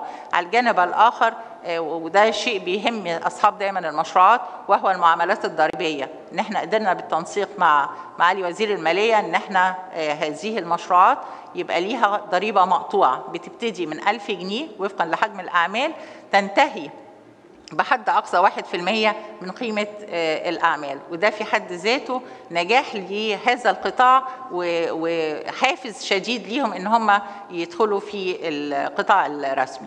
إحنا بالإضافة لهذا إحنا بنطور المنصة الرقمية السوقية. عايزين إن إحنا نعمل منصة على غرار منصة علي بابا وإحنا بنشتغل كجهاز تنمية مشروعات لتحقيق وتطوير المنصة الموجودة. وطبعا معانا من الدعم وزارة الاتصالات ومعانا وزارة التخطيط. نشتغل كمان على شبكة موحدة مجمعه خاصة بالانتربرينور أو ريادة الأعمال بحيث إن إحنا هناك برامج كثيرة جدا على مستوى الدولة وهناك جهات عديدة ووزارات عديدة كلها بتشتغل برامج ريادة الأعمال. من خلال الشبكة دي هيبقى عندنا نجمع كل مبادرات الأعمال على مستوى الجمهورية هتكون موجودة وده الغرض منها إن إحنا ندرس ونتابع الأثر على الحاضنات وعلى المشروعات الصغيرة والمتوسطة وده طبعا بالتنسيق جهاز تنمية المشروعات مع وزارة التخطيط. في جزء آخر مهم معظم أصحاب المشروعات وخاصة رواد الأعمال بيحبوا إن هم يلجأوا له وهو عيادات الأعمال. عيادات الأعمال دي الغرض منها تقديم حلول واستشارات وخدمات استشارية لخدمة قطاع ريادة الأعمال وخاصة طبعا في الحاجات اللي تكون فيها مقدار التكنولوجيا عالية وده بيكون من خلال استشاريين وفنيين ذوي الاختصاص والخبرة.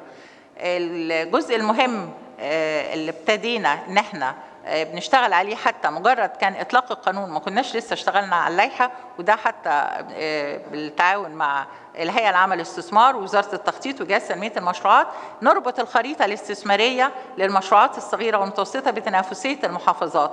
كل محافظة لها ميزة نسبية متميزة فيها فإحنا آه، ابتدينا مرحلة أولانية ابتدينا بخمس محافظات. إن شاء الله في القريب العاجل هنكون آه، بالتوالي هننتهي من جميع المحافظات بتاعتنا. ان إحنا نربط الخريطة الاستثمارية للمشروعات بتنافسية المحافظات.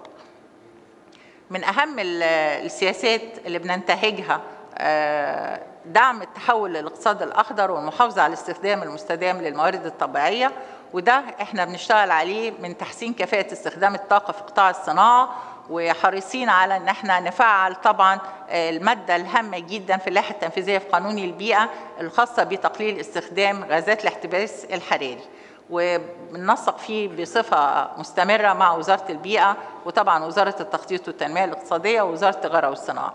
إن الإجراءات الهامة لدعم التحول للاقتصاد الأخضر إن إحنا بنشتغل على تطبيق معايير حفظ وترشيد الطاقة في العمليات الإنتاجية وفقا للمواصفات العالمية من خلال التوسع في منح شهادة المواصفات الدولية لترشيد الطاقة 50000 واحد ايزو 50000 واحد وإن إحنا نلزم المصانع والقطاعات الصناعية كثيفة الاستهلاك للطاقات زي القطاعات الكيماوية والأسمدة إن هي لازم تسعى للحصول على هذه الشهادة لأنها هامة جدا المواصفة دي خاصة فيما يخص ترشيد آه، ترشيد الطاقة. الجزء الأخير اللي إحنا مهتمين بيه ان إحنا تسهيل وتطوير حركة التجارة وإزالة القيود المعرقلة.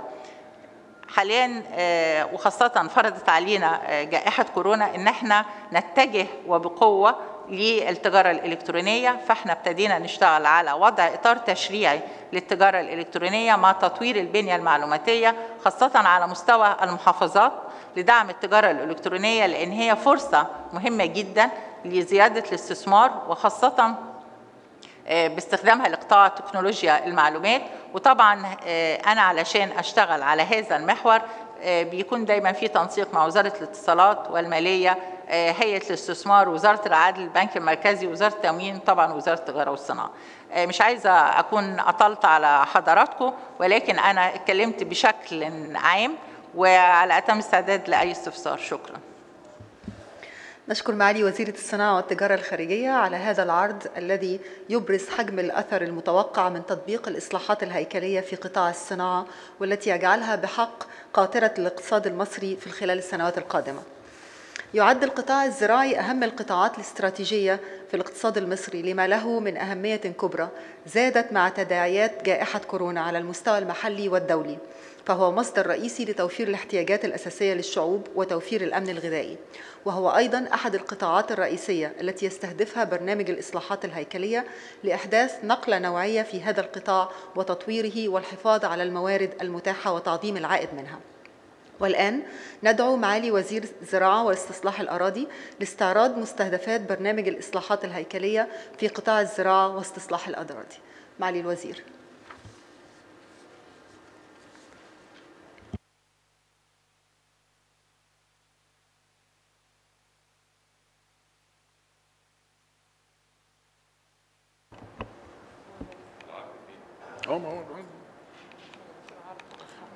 ماشي ما بسم الله الرحمن الرحيم. دولة معالي رئيس مجلس الوزراء الموقر الدكتور مصطفى مدبولي زميلاتي وزملاء السادة الوزراء السادة ممثلي مجلسي النواب والشيوخ السادة رؤساء المجالس والاتحادات وممثلي المجتمع المدني السادة شركاء التنمية من المؤسسات الدولية السادة الإعلاميين والصحفيين الحضور الكرام. اسمحوا لي أن أعرض على حضراتكم السياسات والإجراءات قصيرة ومتوسطة المدى المستهدفة لقطاع الزراعة في إطار برنامج الإصلاحات الهيكلية ذات الأولوية للاقتصاد المصري. السادة الحضور يعد قطاع الزراعة من القطاعات الاستراتيجية نظرا لأنه يتعلق بالأمن الغذائي والأمن القومي لمصر ومؤخرا وإثر تداعيات جائحة فيروس كورونا المستجد تزايدت أهمية قطاع الزراعة سواء على المستوى المحلي أو على المستوى الدولي لدوره الكبير في توفير الحاجات الأساسية للشعوب وتوفير الأمن الغذائي وتحسين التغذية وأيضا لأنه يعد آلية مهمة في توطين التنمية لقدرته على تحقيق تنمية متوازنة واحتوائية وأيضا قدرته على تحقيق قيمة مضافة عليه رغم أن هذا القطاع يواجه بعدد من التحديات قد يكون أهمها محدودية موردي المياه والأرض والنمو السكاني المتزايد والتفتت في الرقعة الزراعية والآثار السلبية لظاهرة تغير المناخ. لذلك يستهدف برنامج الإصلاح الإصلاحات الهيكلية لأول مرة تحقيق التنمية الاحتوائية والمستدامة نظرا لقدرة قطاع الزراعة على الوصول إلى المناطق الريفية وأيضا زيادة نصيب القطاع الزراعي من الناتج المحلي الإجمالي والحد من الفقر في المناطق الريفية وتحفيز الاستثمار الزراعي وزيادة القدرة التنافسية للمنتجات الزراعية لزيادة فرص التصدير وأيضا خلق فرص عمل للتشغيل وخاصة الشباب والمرأة. كما يستهدف أيضا برنامج الإصلاح تحسين دخول المزارعين وزيادة قدرتهم على مواكبة العصر من خلال مبادرات وآليات متعددة. الهدف منها ليس اقتصاديا فحسب بل قد يمتد ليشمل الجوانب الاجتماعية وذلك من خلال إحداث نقلة نوعية في مستوى معيشة قطاع كبير من المجتمع المصري حيث يشكل العاملين في قطاع الزراعة والأنشطة المرتبطة به نسبة كبيرة من إجمالي المشتغلين في سوق العمل المصرية قد تصل إلى أكثر من 25% ولذلك فإن تحديث قطاع الزراعة بالشكل الذي يستهدفه برنامج الإصلاحات الهيكلية يهدف إلى أن يصبح هذا القطاع أكثر مرونة بحيث يستطيع أن يواجب التغيرات العالمية والإقليمية ويستفيد من الفرص التي تتيحها تلك المتغيرات وأيضا يحقق الربط بين البعد الاقتصادي وهو استدامة القطاع وزيادة إنتاجيته وتحسين تنافسيته من ناحية وأيضا بين البعد الاجتماعي الذي يتضمن الاهتمام بالمزارعين من خلال خلق فرص عمل جديدة وزيادة دخولهم وإدماجهم ضمن المبادرات التي تطلقها الدولة لتحفيز الاقتصاد خاصة في ضوء محورية هذا القطاع في تحقيق الأمن الغذائي والمائي كأمن قومي فضلا عن مساهمته في الناتج القومي الإجمالي بنسب ملموسة إضافة إلى أن تحديث وتطوير قطاع الزراعة يعد عاملا داعما للاقتصاد الوطني وسينعكس إيجابيا على قطاعات أخرى كالصناعة والتصدير والنقد الأجنبي. تستهدف جهود الدولة من خلال برنامج الإصلاحات الهيكلية تعظيم الجهود في مجال الحفاظ على الموارد المائية بجميع أنواعها واتباع الإجراءات المتعلقة بتحقيق, بتحقيق الكفاءة في استخدام المياه وضمان الأمن المائي حيث شهدنا خلال السنوات السابقة تزايد أهمية المياه كمورد اقتصادي على المستوى الدولي. وتتكامل تلك الإجراءات بالطبع مع جهود الدولة المصرية الساعية لحفظ حقوق مصر التاريخية في مياه النيل باعتباره شريان الحياة لدى المصريين. كما يعد الحفاظ على الموارد المحلية من أهم الركائز التي يأخذها في الاعتبار برنامج الإصلاحات الهيكلية. ويتمثل ذلك في الإجراءات التي تستهدف تقليل نسبة الفاقد من الإنتاج الزراعي خلال مراحل الإنتاج المختلفة بدءا من توقيت زراعة المحصول وأسلوب الزراعة ونوعية التقاوي المستخدمة وحتى فترة الحصاد وما بعدها.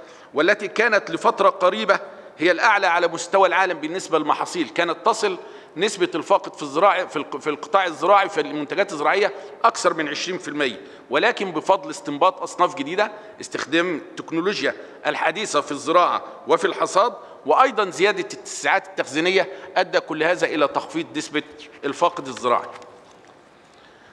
وقبل الحديث عن الأهداف الاستراتيجية في مجال الإصلاحات الهيكلية دعونا لابد أن نشير بدرجة كبيرة من الأهمية إلى المشروع القومي للتوسع الأفقي والذي يستهدف إصلاح وزراعة أكثر من 2 مليون فدان بالاعتماد على موارد الموارد المائية المتاحة من خلال معالجة مياه الصرف الزراعي. لعلكم تتذكرون يمكن قريبا تم افتتاح محطة محسمة معالجة مياه الصرف الزراعي واللي تم افتتاحها في العام الماضي وحصلت على أفضل محطة في مش... في أفضل مشروع إنشائي في العالم لعام 2019 أيضا يتم تنفيذ حاليا مشروع معالجة مياه الصرف الزراعي بمحطة مصرف بحر البقر وإن شاء الله سيتم افتتاحها قريبا ودي اللي هتتيح قدر من المياه يصل إلى 5.6 من عشرة مليون متر مكعب يومي تكفي بالإضافة إلى محطة المحسمة إلى استكمال زراعة واستصلاح أراضي في شمال وسط سيناء تصل إلى 500 ألف فدان. أيضا دعونا نتحدث عن مشروع الدلكة الجديدة الذي يعتبر مشروع عملاق واللي أطلقه فخامة السيد الرئيس في الشهور الماضية وده يستهدف أيضا زراعة واستصلاح أكثر من مليون فدان وده سيعتمد أيضا على تدبير المياه من آه، محطات معالجة مياه الصرف الزراعي وسيتم إنشاء محطة بالفعل بدأ التنفيذ فيها تصل تكلفتها إلى أكثر من 60 مليار جنيه. بالإضافة إلى أن هذا المشروع بيستهدف مليون فدان في الدلتا الجديدة يسته...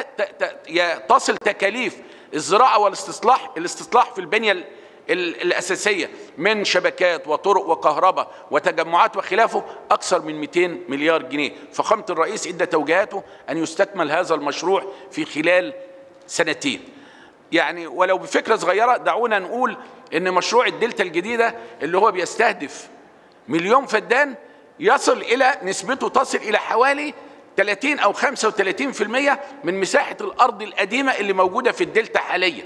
وبالتالي ده يعتبر مشروع عملاق سيحدث نقلة نوعية في ال- الزراعة في التصدير في المحاصيل الاستراتيجية في الأنشطة المرتبطة بالتصنيع والأنشطة الأخرى المرتبطة بهذا المشروع. أيضا من ضمن الأهداف الاستراتيجية التي آه، يعني تم تحديدها في إطار برنامج الإصلاح الهيكلي آه، اولا الهدف السياسة الاولانيه هي الحفاظ على الأمن المائي والغذائي وزيادة تنافسية المنتجات والمحاصيل الزراعية ويتم تنفيذ هذه السياسة من خلال بعض الإجراءات تتمثل في انفاذ اتفاقات الزراعة التعاقدية في الأراضي القديمة في الوادي والدلتا كآلية للتغلب على مشكلة تفتيت الحيازه اللي إحنا قلناها من شوية وذلك من خل... من وجود طرف ثالث للتعاقد على شراء هذه السلع كهيئه السلع التموينية التابعة لوزارة التموين وأيضا بالنسبة للسلع الاستراتيجية على أن تتولى وزارة الزراعة متابعة تنفيذ هذه الاتفاقات مع الفلاحين والمزارعين بالإضافة اللي إحنا نبحث على لتأمين ال- ال- اطراف التعاقد.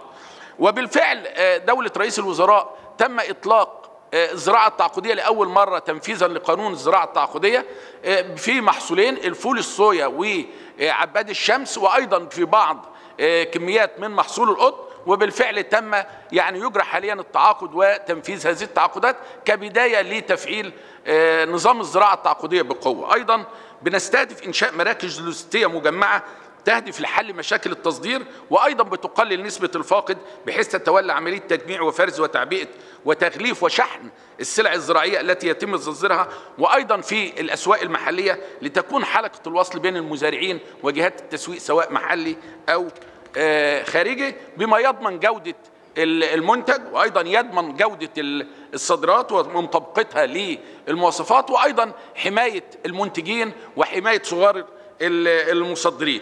وضمان أسعار تصديرية أفضل.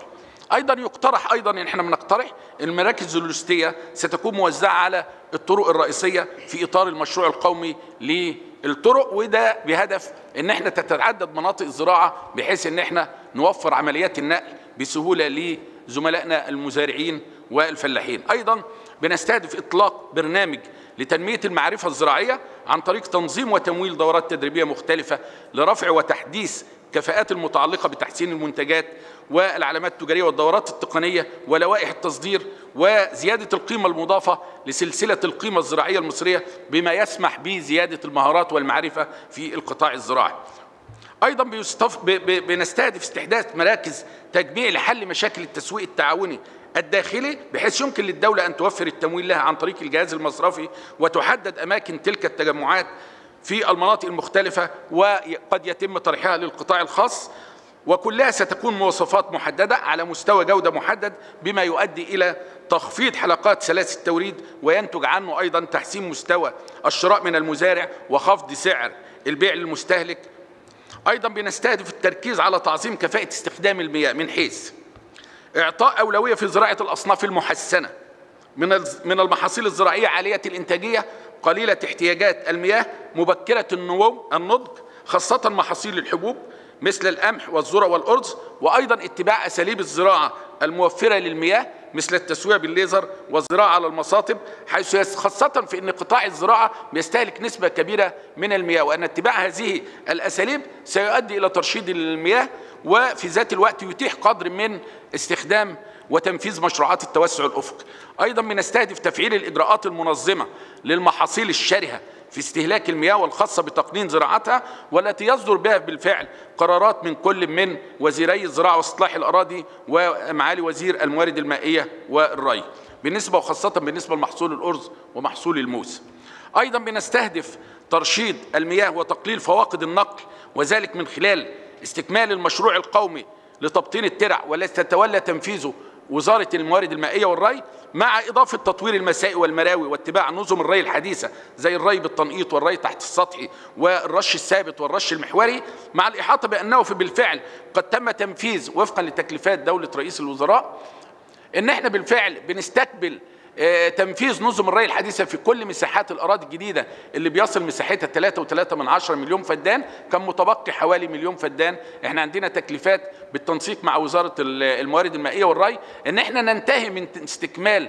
تحديث وتنفيذ نظم الري الحديثة بمساحة المليون فدان المتبقي من الثلاثة وثلاثة من عشرة بحد أقصى نأمل إن شاء الله ننتهي مع نهاية هذا العام في 30 6 2021 أيضا هناك إن شاء الله في تكليفات من معالي دولة رئيس مجلس الوزراء وفخامة السيد الرئيس بأن إحنا نحاول أن إحنا نتبع نظم الري الحديثة والتحول من الري بالغمر إلى الري الحديث في الأراضي الدلتا القديمة والتي يصل آه، إجمالي مساحتها حوالي 4 مليون فدان. زي ما حضراتكم عارفين إن إجمالي مساحه الأراضي الزراعية ح- القديمة حوالي 6.1 من عشرة مليون فدان. عندنا 4 مليون فدان اللي إحنا بنستهدف فيهم آه، تحويلهم من الري بالغمر إلى الري الحديث. وعندنا 2 مليون فدان اللي هم الأراضي الشمالية القريبة من مستوى البحر بحيث إن إحنا ما نحصلش ملوحة حوالي 2 مليون فدان هنتخذ فيهم برضو الأساليب الحديثة في الزراعة زي التسوية بالليزر والزراعة على مصاطب والأصناف قليلة الاحتياج للمياه. وده هيبقى مشروع إن شاء الله سوف يطلق قريبا فيه مجموعة من الحوافز الإيجابية وأيضا فيه برضو جوانب يعني محفزة وجوانب تدفع المزارعين والفلاحين لأنهم لابد إن إحنا نتحول من الري بالغمر إلى الري الحديث خاصة إن هذا المشروع والتحول إلى نظم الري الحديثة له مجموعة من الإيجابيات سواء في زيادة الإنتاجية أو تقليل التكلفة أو تخفيض آه، تكلفة الأسمدة المستخدمة وتخفيض حجم العمالة يعني له إيجابيات متعددة. وإحنا إن شاء الله بندعو المجتمع المدني وزملائنا الإعلاميين والصحفيين إنهم يركزوا الضوء بقوة على هذا المشروع الكبير وعلى أهمية التحول من الري بالغمر إلى الري الحديث أيضا بنستهدف اتباع النظم ال- الحديثة في تنفيذ تطوير المسائي والمراوي ودي إن شاء الله بننفذها مع وزارة الموارد المائية والري. وكان هناك توجيهات بأن يبقى قد يتم التفكير في إنشاء وحدة تابعة لمجلس الوزراء للسلع الاستراتيجية تتضمن حوالي 14 سلعة الهدف منها هي متابعة سلاسل القيمة الخاصة بتلك السلع بشكل أفقي وتنظم بين مجموعة من الوزارات اللي لها دور في تفعيل سلاسل القيمة زي وزارة الموارد المائية والري بخلاف وزارة الزراعة واصلاح الأراضي أيضا وزارة التجارة والصناعة وزارة التموين وزارة قطاع الأعمال العام وزارة المالية التعاون الدولي وكل دول مجموعة من الوزراء اللي شركاء في موضوع التنمية. أيضا بنستهدف أحد السياسات الأخرى بتستهدف زيادة تنافسية صادرات المحاصيل والصناعات الزراعية والتي تتطلب تنفيذ هذه السياسة برضو أيضا بنستهدف دعم الصادرات الزراعية من خلال توفير يعني آه، مراكب سريعة منتظمة لنقل الصادرات المصرية وعلى رأسها الحاصلات الزراعية إلى بعض الأسواق الرئيسية للصادرات الزراعية خاصة دول الاتحاد الأوروبي. أيضا بيتم إجراء دراسة تفصيلية لتحديد الموانئ المناسبة لكل خط من حيث الدول المحيطة بها بجانب دراسة عوامل التكلفة وسرعة إنهاء الإجراءات والإمكانيات اللوجستية لدراسة القدرة الاستيعابية لهذه الموانئ على استيعاب الصادرات المصرية. أيضا بنستهدف الدعم اللوجستي للمنظومة التصديرية وخاصة دعم وسائل الشحن وتخفيض تكاليفها. أيضا هناك عامل رئيسي وكان له السبب الرئيسي في زيادة الصادرات الزراعية زي ما معالي وزيره التخطيط قالت إحنا حصل طفرة خلال السنة الأخيرة في الصادرات الزراعية بفضل بفضل إحكام الرقابة على الصادرات الزراعية وتطبيق اشتراطات الصحة النباتية. طبقا للقواعد والمعايير الدولية مع تعظيم دور الحجر الزراعي في تطوير منظومة التصدير واتباع أنظمة حديثة في التتبع والاعتمادات لكل المناطق والمزارع محل التصدير. أيضا بنستهدف الاستمرار في سياسات فتح أسواق تصدير جديدة للمنتجات الزراعية ونحب نوضح إن إن الأسواق اللي بيتم تصدير السلع والمنتجات الزراعية المصرية فيها أكثر من 150 دولة. إحنا يمكن خلال العام الماضي في جائحة كورونا تم افتتاح 11 سوق لعدد سبع محاصيل تصديرية خلال عام 2020 رغم انتشار معالي الوزير فيروس كورونا. إحنا عايزين بس عشان الوقت وعايزين نسمع رأي الناس حاضر، اذن حضرتك اتفضل. أيضا عندنا سياسات خلق فرص عمل جديدة وزيادة دخول صغار المزارعين زي استكمال المنظومة الاستفادة الكاملة من منظومة كارت الفلاح بعد إضافة آه، خدمة المدفوعات وأيضا محفظة إلكترونية آه، تستخدم لتحويل دعم المدخلات الزراعيه المزارعين مع مع الاستفادة من تطبيقات الذكاء الاصطناعي في الزراعة وميكنة الخدمات. أيضا استمرار دعم المبادرات المقدمة لصغار المزارعين وتحسين أوضاعهم زي مبادرة المشروع القومي البيتيلو وكلنا عارفين تفاصيلها، أيضا مبادرة دعم وتطوير مراكز تجميع الألبان، أيضا استمرار استفادة المزارعين والفلاحين من المبادرات التمويلية الميسرة المعلنة، أيضا استفاده استمرار تمويل المحاصيل الزراعية والبستانية بتمويل مدعم من الدولة بفايدة 5% الدولة تتحمل 7% يصل إجمالي الدعم السنوي لهذه الفئات أكثر من 600 مليون جنيه سنويا. أيضا سياسات الإصلاح التشريعي زي ما قالت معالي الوزيرة إعادة هيكلة قانون التعاونيات اللي صادر سنة 80 لهدف زيادة دور التعاونات وأيضا تحديث قانون الزراعة اللي صادر من سنة 66 عشان يتواكب مع المتغيرات والمستخدمات.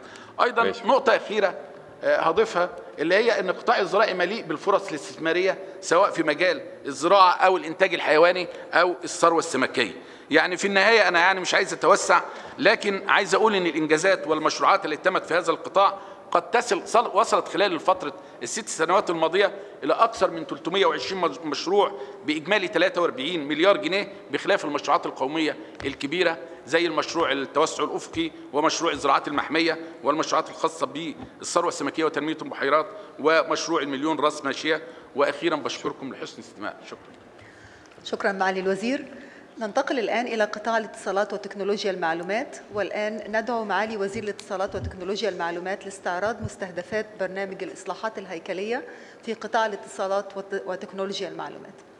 شكرا يا فندم. آه، حضرة صاحب الدولة أستاذ الدكتور مصطفى مدبولي رئيس مجلس الوزراء آه، زملائي آه، حضرات أصحاب المعالي الوزراء السادة ممثلي مجلسي النواب والشيوخ السادة ممثلي المجتمع المدني والمؤسسات الدولية السيدات والسادة الحضور آه، اسمحوا لي حضراتكم آه، أستعرض آه، مستهدفات الكمية لقطاع الاتصالات وتكنولوجيا المعلومات ثم أتناول جزء من استراتيجية وزارة الاتصالات وتكنولوجيا المعلومات التي تنعكس على الإصلاحات الهيكلية والقدرة التنافسية التي تحاول وزارة الاتصالات أن تقيمها.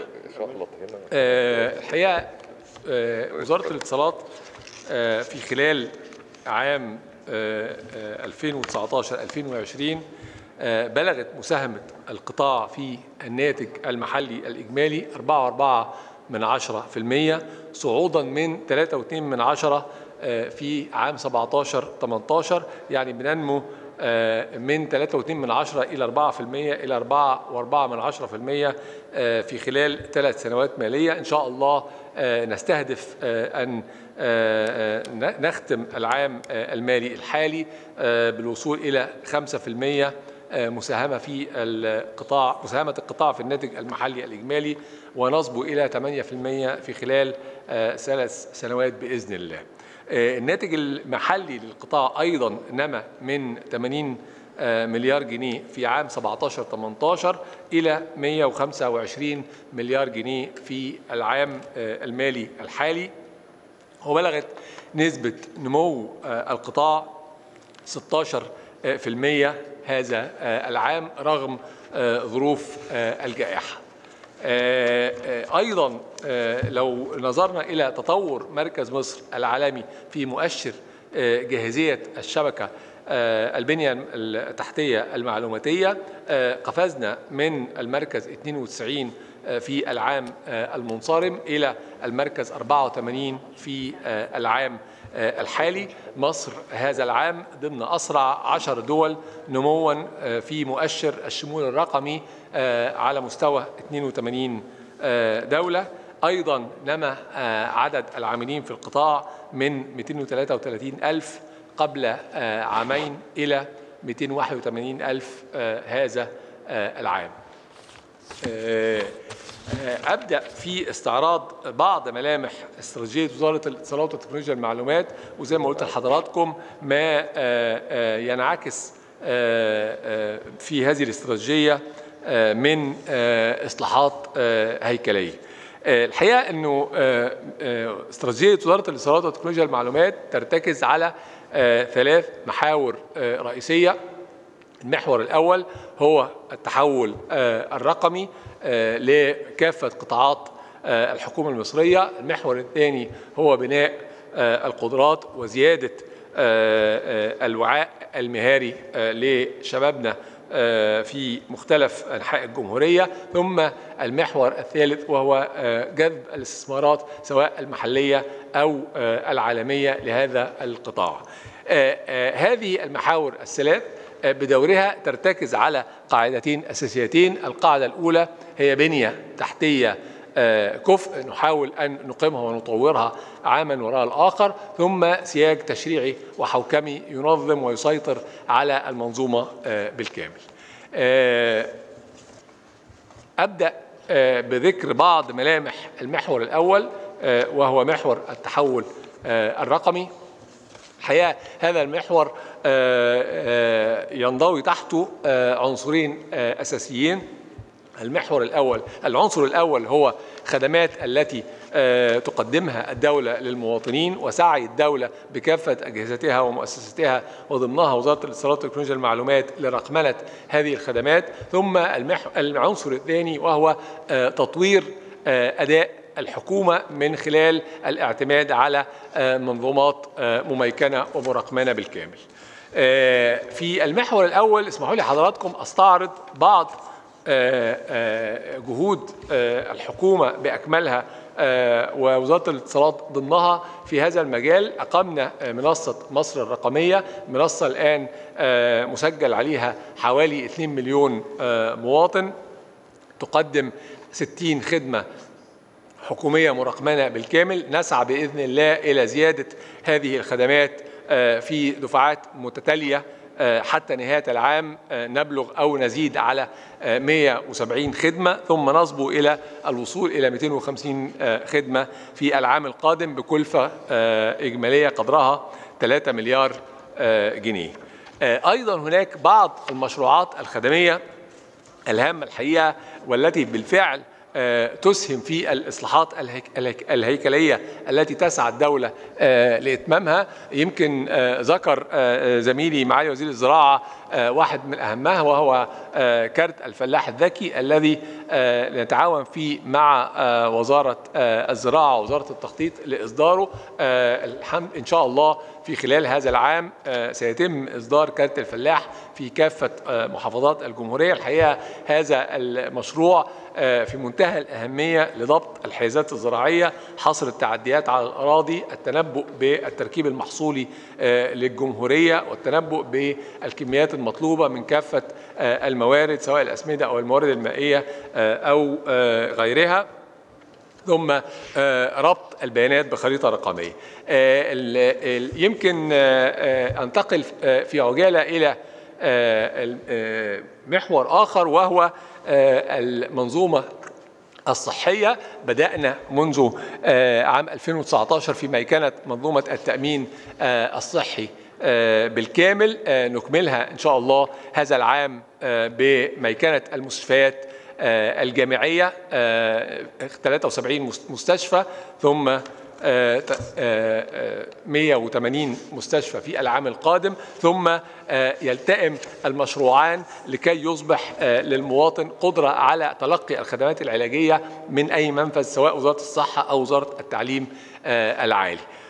أيضا في جهود الدولة لتطوير التعليم العالي هناك مشروع الامتحانات الرقمية الذي نتعاون فيه مع وزارة التعليم العالي. إن شاء الله نطلق الأسبقية الأولى منه خلال هذا العام. ثم تتلوها الأسبقية الثانية. أنتقل إلى العنصر الثاني من هذا المحور وهو تطوير الأداء الحكومي إن شاء الله مع انتقال الحكومة إلى العاصمة الإدارية الجديدة. تنتقل نقلة نوعية كحكومة تشاركية قادره على تبادل البيانات بين أجهزتها ومؤسساتها. حكومة لا ورقية لا تستخدم الورق ولكن من خلال مؤسسات ومنظومات مرقمنه رقمنة مطلقة وأيضا ذكية. أيضا هناك مشروع يعني ربما دولة رئيس الوزراء يتبناه شخصيا وهو مشروع الرقم القومي للعقارات لكي يكون لكل عقار رقم قومي متفرد على غرار الأرقام القومية للمواطنين يقترن بهذا منظومة ميكنة التراخيص العقارية بالتعاون مع تسع وزارات لرقمنة وحوكمة منظومة تراخيص البناء والهدم في عجالة شديدة انتقل إلى المحور الثاني وهو بناء القدرات. بناء القدرات كما نصبو إلى تحقيقه يكون بإتمام والتوسع في مشروعات تدريب كما ذكرت زميلتي وزيرة التخطيط نتطلع هذا العام إلى إتمام تدريب 110 ألف شاب صعودا من 4000 حين تولت وزارة الدكتور مصطفى مدبولي المسؤولية.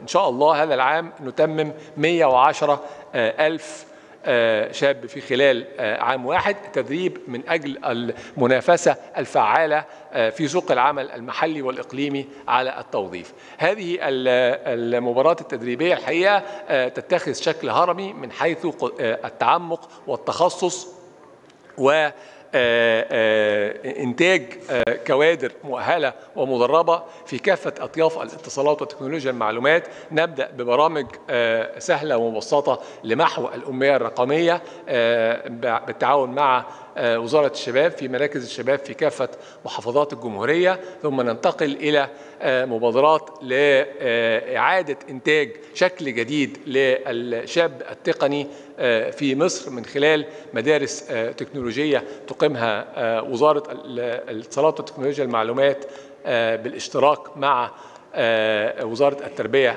والتعليم والشركة المصرية للاتصالات. ثم نصعد إلى مبادرات أكثر تخصصا وتعمقا بالتعاون مع جامعة ايبيتا الفرنسية لتدريب ألف متخصص في العلوم البيانات والذكاء الاصطناعي.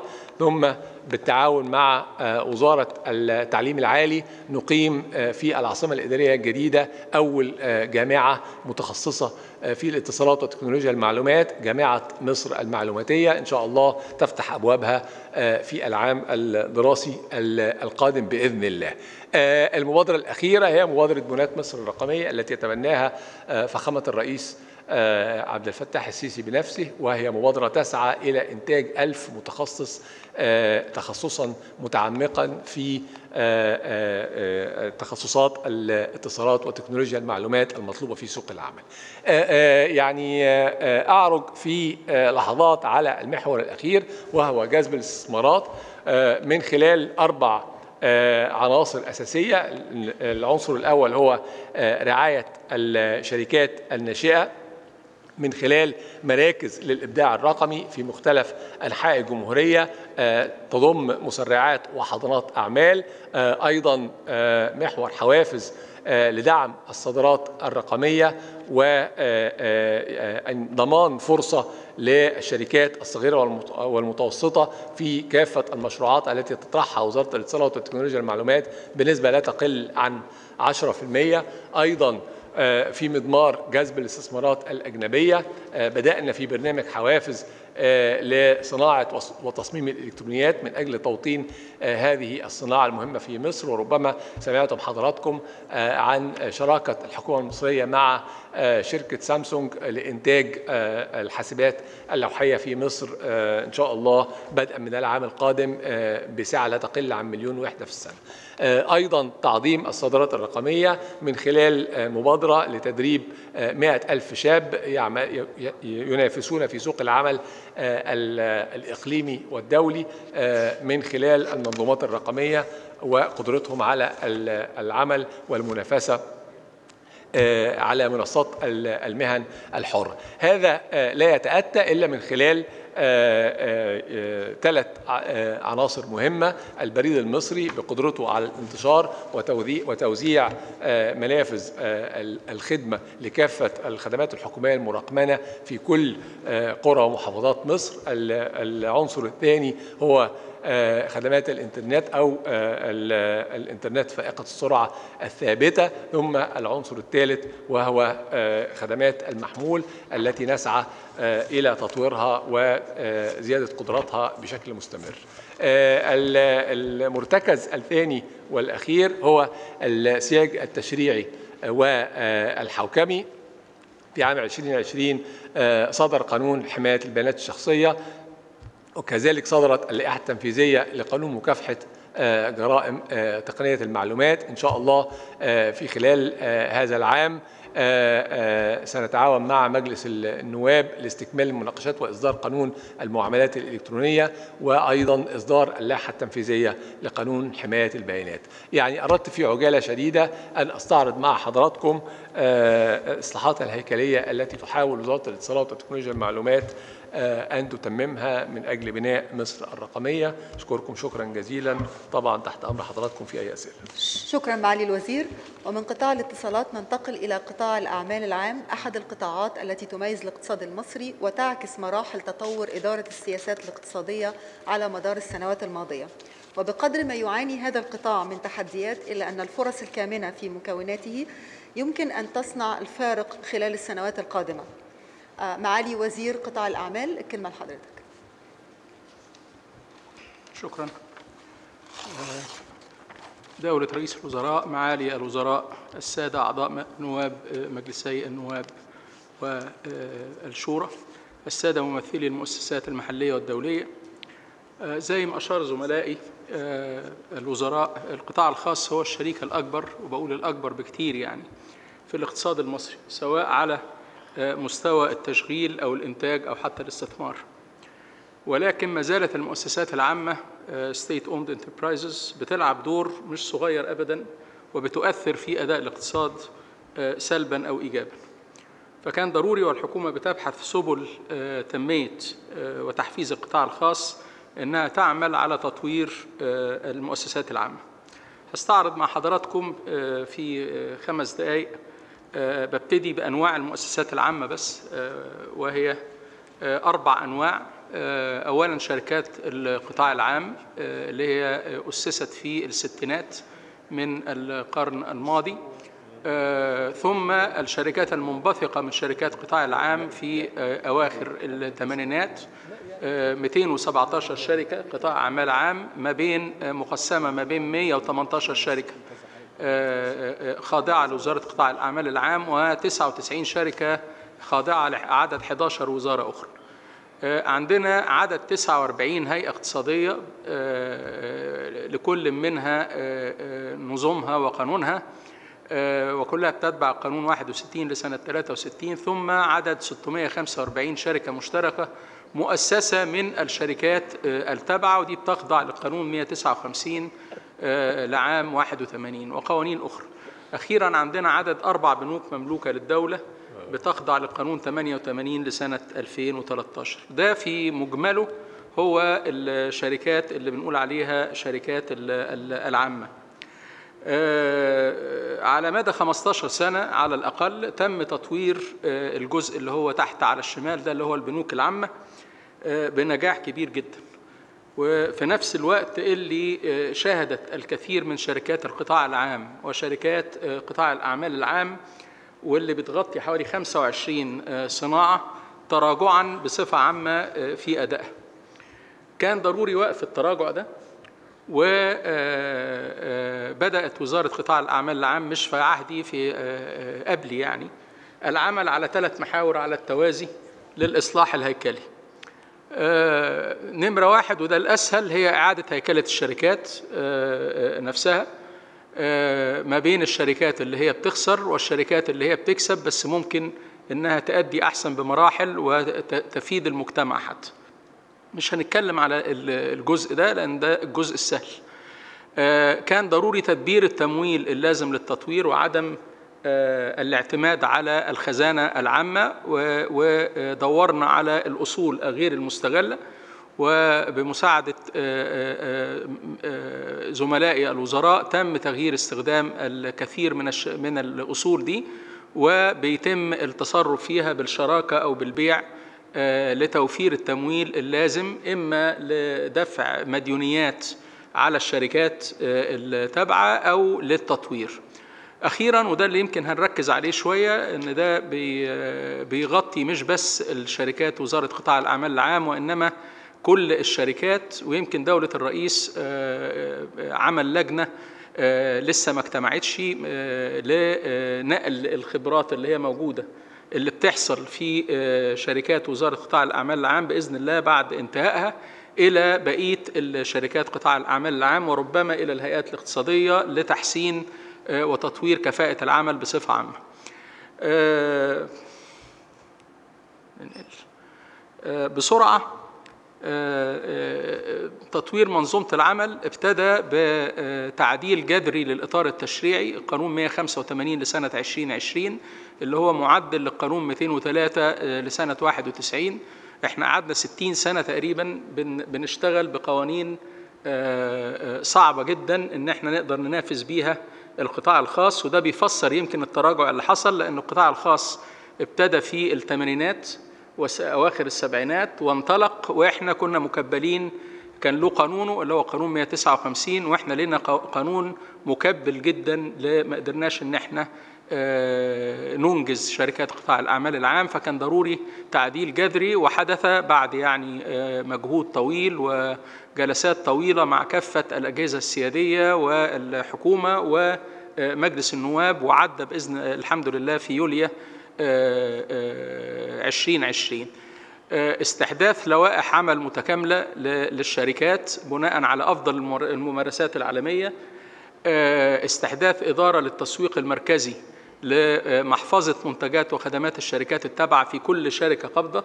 الإنتاج سهل أما التسويق اللي هو بيؤدي إلى تحسين ال ال ال ال ال الأداء كان ضروري إن إحنا نعمل إدارات تسويق مركزي ما كانتش موجودة آه، اتعملت. كان ضروري إن إحنا نعمل لجنة مركزية للاستثمار في كل شركة قابضة للتأكد من آه، جودة الاستثمارات اللي بتتعمل آه، ونتاكد إن القرارات ال- اللي بتتاخد بتتاخد من لجان مش بس بتضم موظفي الشركات القابضة وإنما نص اللجان دي من الخبراء اللي بيحرصوا على سمعتهم من القطاع الخاص فالقرارات النهارده بتمحص تمحيص جيد جدا. تعديل دليل الحسابات بالتنسيق مع الجهاز المركزي للمحاسبات لكل الشركات. عندنا آه، آه، دليل حسابات جديد. آه، عندنا ميكنة إجراءات العمل الجديدة بتطبيق ال ERP النهارده من آه، إجمالي 82 شركة هيبقوا موجودين عندنا بعد آه، دمج بعض الشركات فهننزل من 117 شركة إلى 82 شركة. بنركب ERP النهارده في 63 شركة من ال 82 شركة. ده آه، حاجة غير مسبوقة وتحدي كبير إنما آه، الحمد لله بنعمله آه، مع أصحاب الرخص الدولية وال system integrators المحليين والعالميين. تسوية مديونيات تاريخية مع الجهات الحكومية تمت بإجمالي 33 مليار جنيه وفي حوالي 8 مليار جنيه آه، فاضلين آه، جا- جاري تسويتهم آه، مع وزارة المالية ومع بنك الاستثمار القومي. تسوية منازعات معلقة مع القطاع الخاص حلينا على الأقل خمس ست مشاكل كبيرة ودي كانت مانعة للاستثمار الاستثمار ابتدى يرجع تاني بعد ال- حل المشاكل دي آه، زي ما قلنا حصر وتغيير استخدام أصول غير مستغلة تغيير مجالس الإدارة بعد تعديل القانون وإحنا غيرنا في 67 آه، شركة من ال ال 82 تم تغيير مجالس الإدارة وتم بيتم تقييم الإدارات التنفيذية بحيث إن إحنا بإذن الله في العام المالي الجديد بنبتدي بإدارات جديدة ومحفزة وقادرة على آه، تنفيذ آه، خطط التطوير. آه،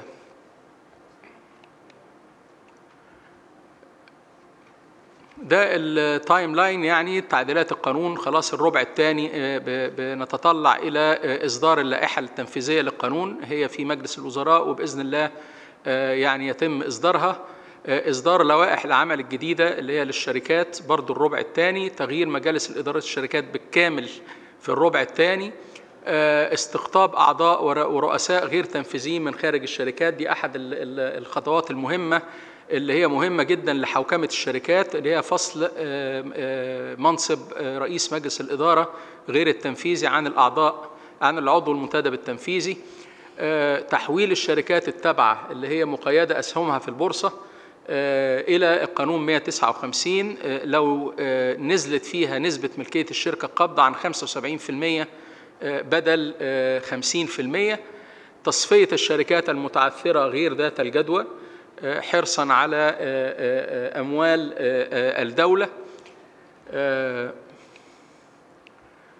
آه، قلنا الإجراءات العمل ار بي بنتكلم على مراجعة الهياكل التنظيمية.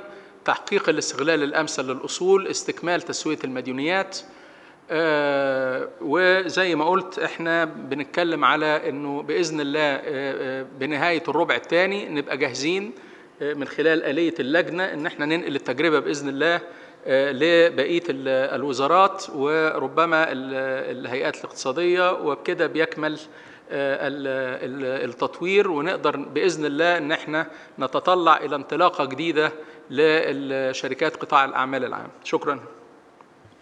شكرا معالي الوزير. وننتقل الآن إلى قطاع السياسات المالية. فلا يمكن أن تتحقق الإصلاحات الهيكلية دون التناغم والتفاعل مع السياسة المالية والسياسة النقدية. فكلاهما كل منهم يؤثر ويتأثر بالآخر. فنجاح الإصلاحات النقدية والمالية في 2016 أدى إلى نجاح البرنامج الوطني للإصلاح الاقتصادي. والآن نتشرف بالاستماع لعرض السيد وزير المالية. معالي الوزير. شكرا جزيلا دكتور رئيس. ويعني انطلاقا من البرنامج الاقتصادي المصري وزارة المالية وضعت خطط استراتيجية على أساس حسمه من الاصلاحات الهيكليه على مستوى السياسات المالية الكلية بأهداف وبرامج ومشروعات وآليات تنفيذ على أساس إنها تحقق ثلاث أهداف تحقيق استقرار مالي والسيطرة على عجز الموازنة والدين العام تحقيق كفاءة وفاعلية في جمع وتخصيص وصرف الموارد العامة للدولة والحفاظ على معدل نمو اقتصادي مستدام. في إطار آه، عمل آه، وزارة المالية آه، يعني الإيرادات العامة للدولة بالدرجة الأولى معتمدة آه، في المنظومة الضريبية والجمركية واللي هي آه، بتمثل طبعا أحد العوامل والآليات المؤثرة في دفع عجله الاستثمار. عشان كده يمكن إحنا ركزنا خلال السنتين الماضيتين على عمليات ميكنة وحوكمة ورفع كفاءة المنظومات ديت بحيث انها تساعد في آه، دعم بيئة العمل المستثمرين وأيضا زيادة تحصيل حق الدولة. آه، فعلى سبيل منظومة الضرائب والدخل والقيمة المضافة آه، قامت وزارة المالية بإعادة هيكلة في منظومة ضرائب الدخل والقيمة المضافة وإعادة هندسة الإجراءات الضريبية طبقا للمعايير الدولية مع بيوت الخبرة العالمية المتخصصة. وانتقلت بعد كده إلى ميكنه الإجراءات الضريبية بالكامل. فأطلقنا المرحلة الأولى لميكنه منظومة الإجراءات الضريبية آه، في الموحدة في مركز كبار ومتوسطي الممولين وكبار المهن بحيث أصبح الممولين المكلفون بيقدموا كل نماذج الاقرارات الضريبية عبر البوابة الإلكترونية لمصلحة الضرائب برقم تسجيل ضريبي موحد بيشمل كل أنواع الضرائب وبيسددوا قيمة الضرائب المستحقة بطريقة إلكترونية. كمان قانون الإجراءات الضريبية الموحد اللي صدر آه، رق- الرقم 206 لسنة 2020 استهدف تبسيط ودمج الإجراءات الضريبية بالنسبة لمواليد ضريبة الدخل والقيمة المضافة وده مع ميكنة الإجراءات ديت هيدعم الثقة بالممول المصلحة ويوفر اليه قانونيه بتساعد الممول المصلحة على استيداء دين الضريبة بيسر بدون أي تقديرات جزافية وبيستخدم التقنيات الحديثة في التعامل ما بين الممول والمصلحه أيضا الإصلاحات الهيكلية في المنظومة الضريبية العديد من مشروعات التطوير والميكنة الشاملة لمنظومة الإجراءات كان أهمها مشروع التحصيل الإلكتروني للضرائب بدأ منذ عام 18 مشروع الإقرارات الضريبية الإلكترونية مشروع منظومة تحليل مخاطر الإقرارات وإدارة حالات المخاطر بدأ العمل به في 2019 آه، ورسمي آه، انطلق في 2020 مشروع الفاتورة الإلكترونية اللي تم تطبيقه بشكل تدريجي وتجريبي على عدد من الشركات في يونيو 20 وتم الإلزام به في نوفمبر 2020 بحيث إن مصر أصبحت من أوائل الدول في الشرق الأوسط في أفريقيا في تطبيق منظومة الفاتورة الإلكترونية. إحنا حتى هذه اللحظة انضم لهذه المنظومة 467 شركة في مرحلتين الأولى والثانية منهم 37 شركة انضم طوعية عدد الوثائق الإلكترونية حتى اليوم بلغت 6 مليون فاتورة إلكترونية خلال يعني نقدر نقول إنها من 15 مارس تقريبا إلى النهاردة. يعني ممكن نقول إن هو في حدود شهر ونص قدرنا نحصل على 6 مليون وثيقة عمليات شراء وبيع فقط من 467 شركة. أنا متوقع إن شاء الله بإذن الله في 15 5 إن إحنا وقبل نهاية شهر 5 نقدر نوصل لل 2800 شركة اللي هم في مركز كبار.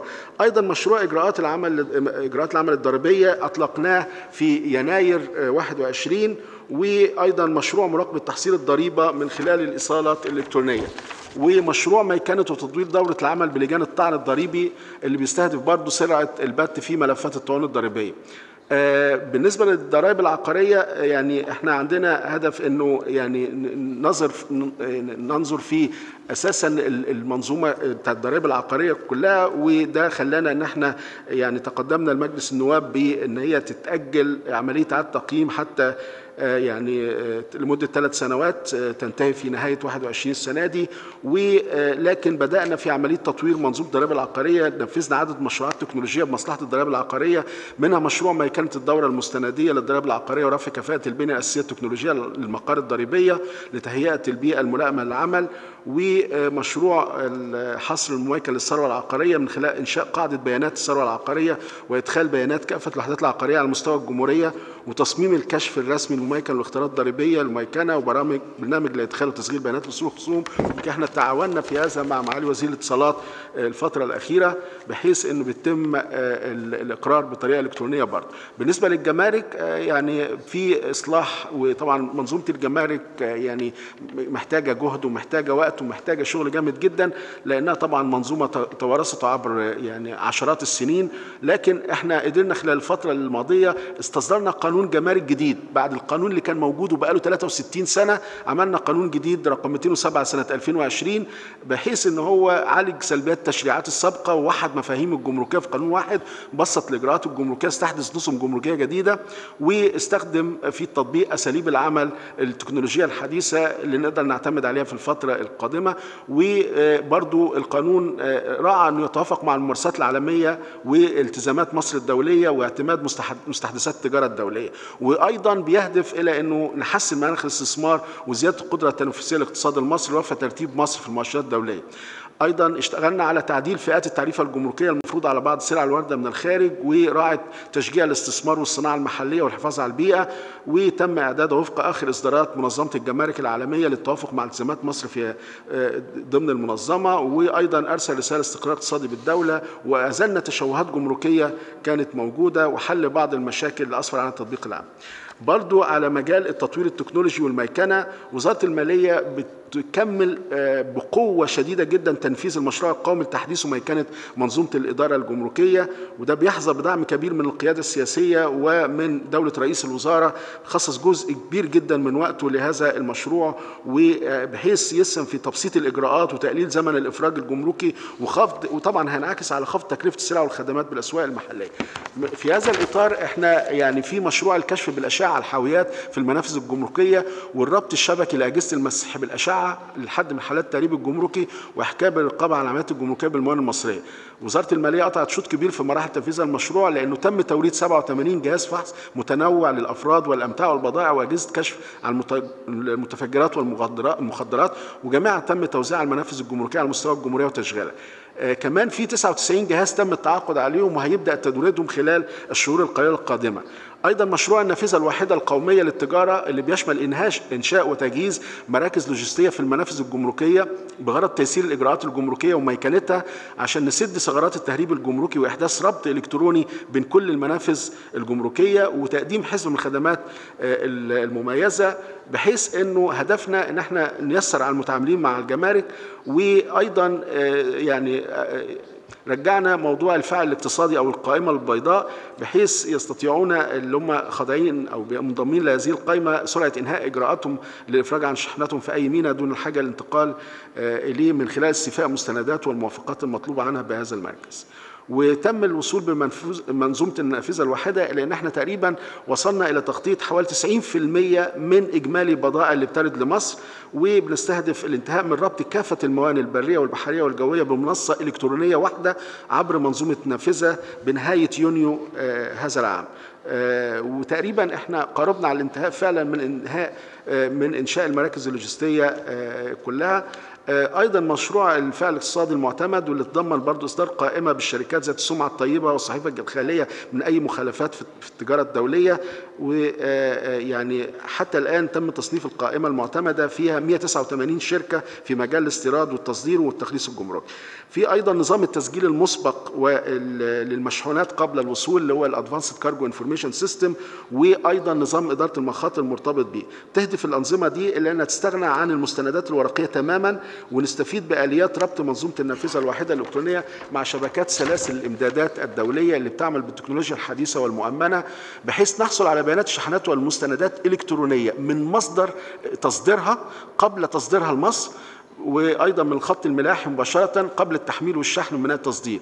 كما توفر آليات إنذار مبكر بحيث نستطيع إن إحنا أي شحنات مرفوضة ما نسمحش بإن هي تتحرك من ميناء التصدير. وأيضا ده يساعدنا على إن ما يبقاش ما تجيش بضاعة وهي ممنوع دخولها مصر تتراكم على المهمل والرواكد في المواني. أيضا آه، حصولنا على البيانات قبل تصديرها من ميناء التصدير هيساعدنا من إنه بالنسبة للي هيتم التوافق عليه أو الموافقة ليه إن أنا أبدأ إجراءات إفراج جمركي بدري. إحنا بدأنا آه، وحضراتكم يعني يمكن آه، بعتنا لكل ال- الجهات إنه بدأنا تجريبي من أول الشهر ده شهر أربعة وإن شاء الله إلزامي اعتبارا من واحد سبعة هيكون ال ال بالنسبة لل advanced cargo information system بحيث كله هيبقى إلكتروني وهنستغنى تدريجيا على ال- ال- المستندات الورقية. وكمان الجهات الرقابية يعني إحنا عملنا شغل عليها بحيث إن إحنا ندمج على قد ما نقدر الجهات الرقابية ونخفض عددها بحيث إنه بعض الجهات العدد الموجود سبعة وثمانية جوه نفس الجهة ننزله لجهة واحدة ويتم التواصل معها إلكتروني. ده إن شاء الله هيساعدنا في الاسراع في عملية الإفراج الجمركي وتقليل الجهات اللي هي الرقابية بالنسبة للمنظومة الجمركية. في مجال الاصلاحات الهيكليه في السياسة المالية ورفع كفاءة اداء الموازنة العامة إحنا حاليا عملنا مشروع قانون موجود في مجلس النواب. بنلغي بيه مشروع قانون الموازنة آه، الحالي آه، اللي هو آه، يعني وأيضا قانون المحاسبة الحكومية. آه، وبنحاول إن إحنا الاثنين دول قانون الموازنة رقم 53 لسنة 73 وقانون المحاسبة الحكومية اللي هو 127 سنة 81 دمجناهم في قانون واحد هو قانون المالية العامة. يراعي بقى التطبيقات الحديثة لمنظومتي الدفع والتحصيل الالكتروني ونظام معلومات الإدارة المالية الحكومية وبيوحد الأطر الموازنية والمحاسبية فيما يخص إعداد وتنفيذ وتسجيل الموازنة العامة للدولة بحيث يحسن أسلوب إعداد الموازنة ويراعي التحول الإلكتروني في إعداد وتنفيذ الموازنة بالإضافة إلى إنه هيبقى عندنا إعداد موازنة متوسطة. إحنا كل سنة بنقدم لمجلس النواب موازنة السنة الجديدة. في القانون الجديد وزارة المالية هتبقى ملزمة بإنها تقدم موازنة سنوات السنة الجديدة وسنتين تاليين بحيث إنه دايما باستمرار في عندنا آه، تخطيط آه، مسبق. أيضا منظومة الشراء المركزي لجهات الدولة لترشيد الإنفاق والاستهلاك حيث أطلقت وزارة المالية حزمة العقود الحكومية النموذجية في ضوء أحكام قانون التعاقدات بين الجهات العامة رقم 182 سنة 2018 وبالفعل تم اعتماد 15 آه، آه، عقد من العقود النموذجية حاليا بت- بتميكن بحيث إن هي تبقى مميكنه ومؤمنه ومكودة وإلكترونية بحيث يعني العامل البشري تقريبا هيبقى استبعد من هذه المنظومة. ويعني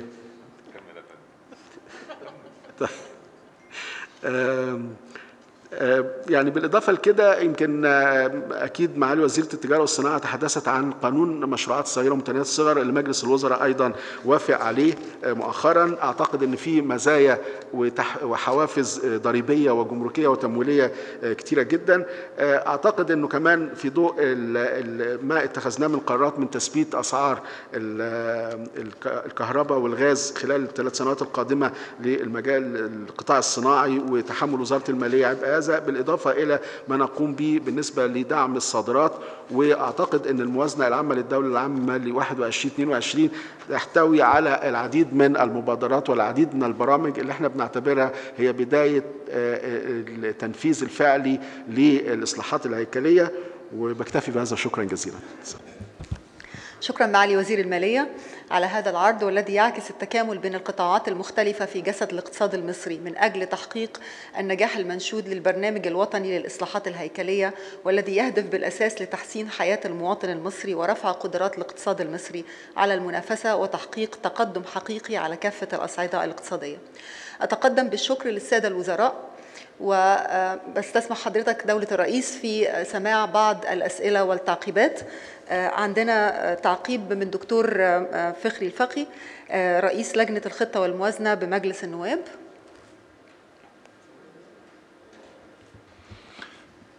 بسم الله الرحمن الرحيم. بداية طبعا بوجه خالص الشكر والتقدير لدولة رئيس الوزراء على دعوتي اليوم.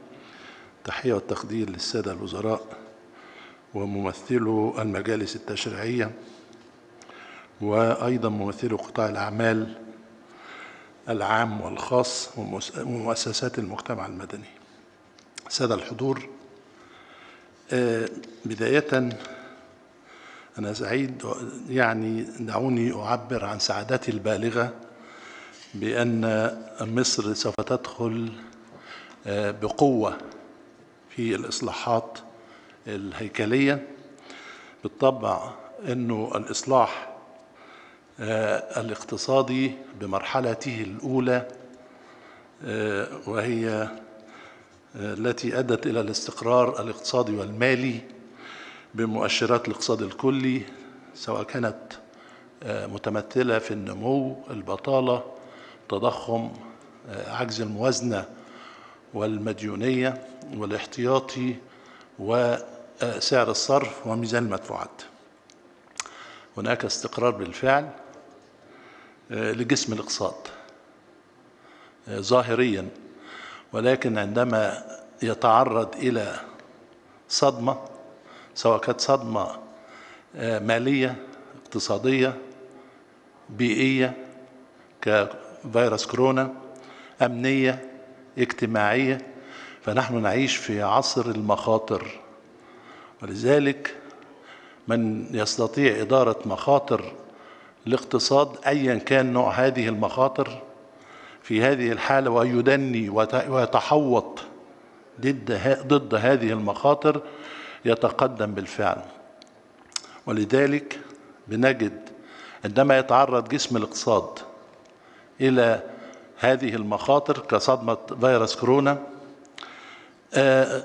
نجد نحن نجد أننا في أمس الحاجة لأن جسم الاقتصاد يكون أو يتميز بخمسة صفات أساسية التي تجعله أكثر استدامة.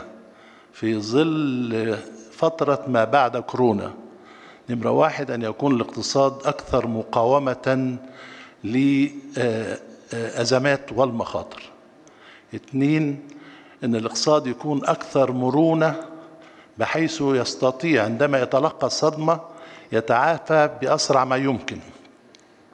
وده اللي هيحدث في فترة ما بعد كورونا إن الاقتصادات المتقدمة سوف سوف تتعافى بسرعة. بينما الاقتصادات الناهضة والنامية والدول الأقل نموا سوف تحتاج إلى فترة طويلة يعني قد تطول إلى سنة أو سنتين في هذه بينما الاقتصادات المتقدمة بتتعافى بسرعة. لماذا؟ لأن هياكل الاقتصادات المتقدمة غير مشوهة. ولذلك يعني ده فيما يتعلق بالمرونة. أيضا يكون أكثر إنصافا بمعنى ما نسميها بدعم وتعزيز الحماية الاجتماعية. أربعة أنه الاقتصاد في هذه الحالة يكون أكثر ذكاء. أكثر ذكاء بمعنى الرقمنة وما يعني يتصل بها في هذه الحالة. وأخيرا أن يكون أكثر نظافة يعني يكون الاقتصاد صديق للبيئة في هذه هذه يعني الخمس يعني صفات لاقتصاد ما بعد اقتصادات ما بعد كورونا برنامج الإصلاح الهيكلي لنا سعيد سعادة بالغة إن حكومة الدكتور مصطفى مدبولي يعني قامت بإطلاق هذا البرنامج الوطني للإصلاحات الهيكلية أو الإصلاح الهيكلي في هذه الحالة. آه، طبعا عندي خم- 15 تشوه مش أذكرهم لكن آه، يعني بسميها آه، آه، منظومات آه، بنجد أن البرنامج من خلال عرض معالي الوزراء ال- ال- تعرضت آه، يعني جهود هذه الوزارات في برنامج الإصلاح ال- الوطني آه، الهيكلي في هذه الحالة آه، أنه هذه المنظومات آه، سوف تحتاج إلى فترة آه، قد تطول. يعني أنا في تصوري آه، بالعرض الحالي أنه البرنامج 18 شهر ده كمرحلة أولى ثم 36 شهر يعني 18 شهر أخرى. يبقى كده دخلنا في ثلاث سنوات ثم في الأجل الطويل خمسة سنوات. أعتقد خمسة سنوات آه، سوف تكون آه، فترة آه، مناسبة على مراحل 18 شهر ثم 18 شهر وقد تصل إلى ثلاثة سنوات بعدها مباشرة يبقى ست سنوات أو خمس سنوات في هذه الحالة. لماذا؟ لأنه هذه التشوهات في هيكل الاقتصاد آه، معقدة للغاية تحتاج إلى حرفية شديدة من آه، يعني صانع القرار في فك هذه التشابكات المعقدة للغاية. ولذلك بقول آه، يعني آه، هذه المنظومات المشوهة يعني هيبقى تحتيها مباشرة هيبقى في قطاعات فيها تشوهات هيبقى في سياسات آه، مختلفة آه، تحتاج إلى تصحيح وأيضا تشريعات جديدة في هذه الحالة آه، آه، طبعا جسم الاقتصاد يعني في الظاهر يعني مستقر بالفعل بمؤشراته الثمانية اللي أنا قلت عليها نمو بطالة إلى آخره في هذه الحالة بنجد أن جسم الاقتصاد من الداخل يحتاج إلى. إلى هذه الإصلاحات الهيكلية سواء كانت فيما يتعلق برأس الجسم الحكومة سواء كانت في المعدة الاقتصادية وهي قطاع الأعمال بشقيه العام والخاص الخلايا جسم الاقتصاد اللي هي 100 مليون نسمة القطاع العائلي في هذه الحالة يحتاج إلى أيضا بعض السياسات اللي يتعامل معها. القطاع ال- آه، الرابع يتعلق بالعلاقات بين جسم الاقتصاد والأجسام الاقتصادية الأخرى وهي آه، فيما يتعلق بالعلاقات الاقتصادية الدولية أو ما نسميها اختصارا التجارة الدولية. وأيضا الحماية البيئية دكتور بمعنى بعد إذن حضرتك إحنا بس طيب الوقت. يا فندم. فأنا باختصار شديد آه، في نهاية الأمر إنه هذا البرنامج أنا سعيد به كل السعادة وإنه سوف يؤدي الهدف الرئيسي بحيث يقوي آه، جسم الاقتصاد في مقاومة الأزمات والمرونه بتاعته في التعافي السريع.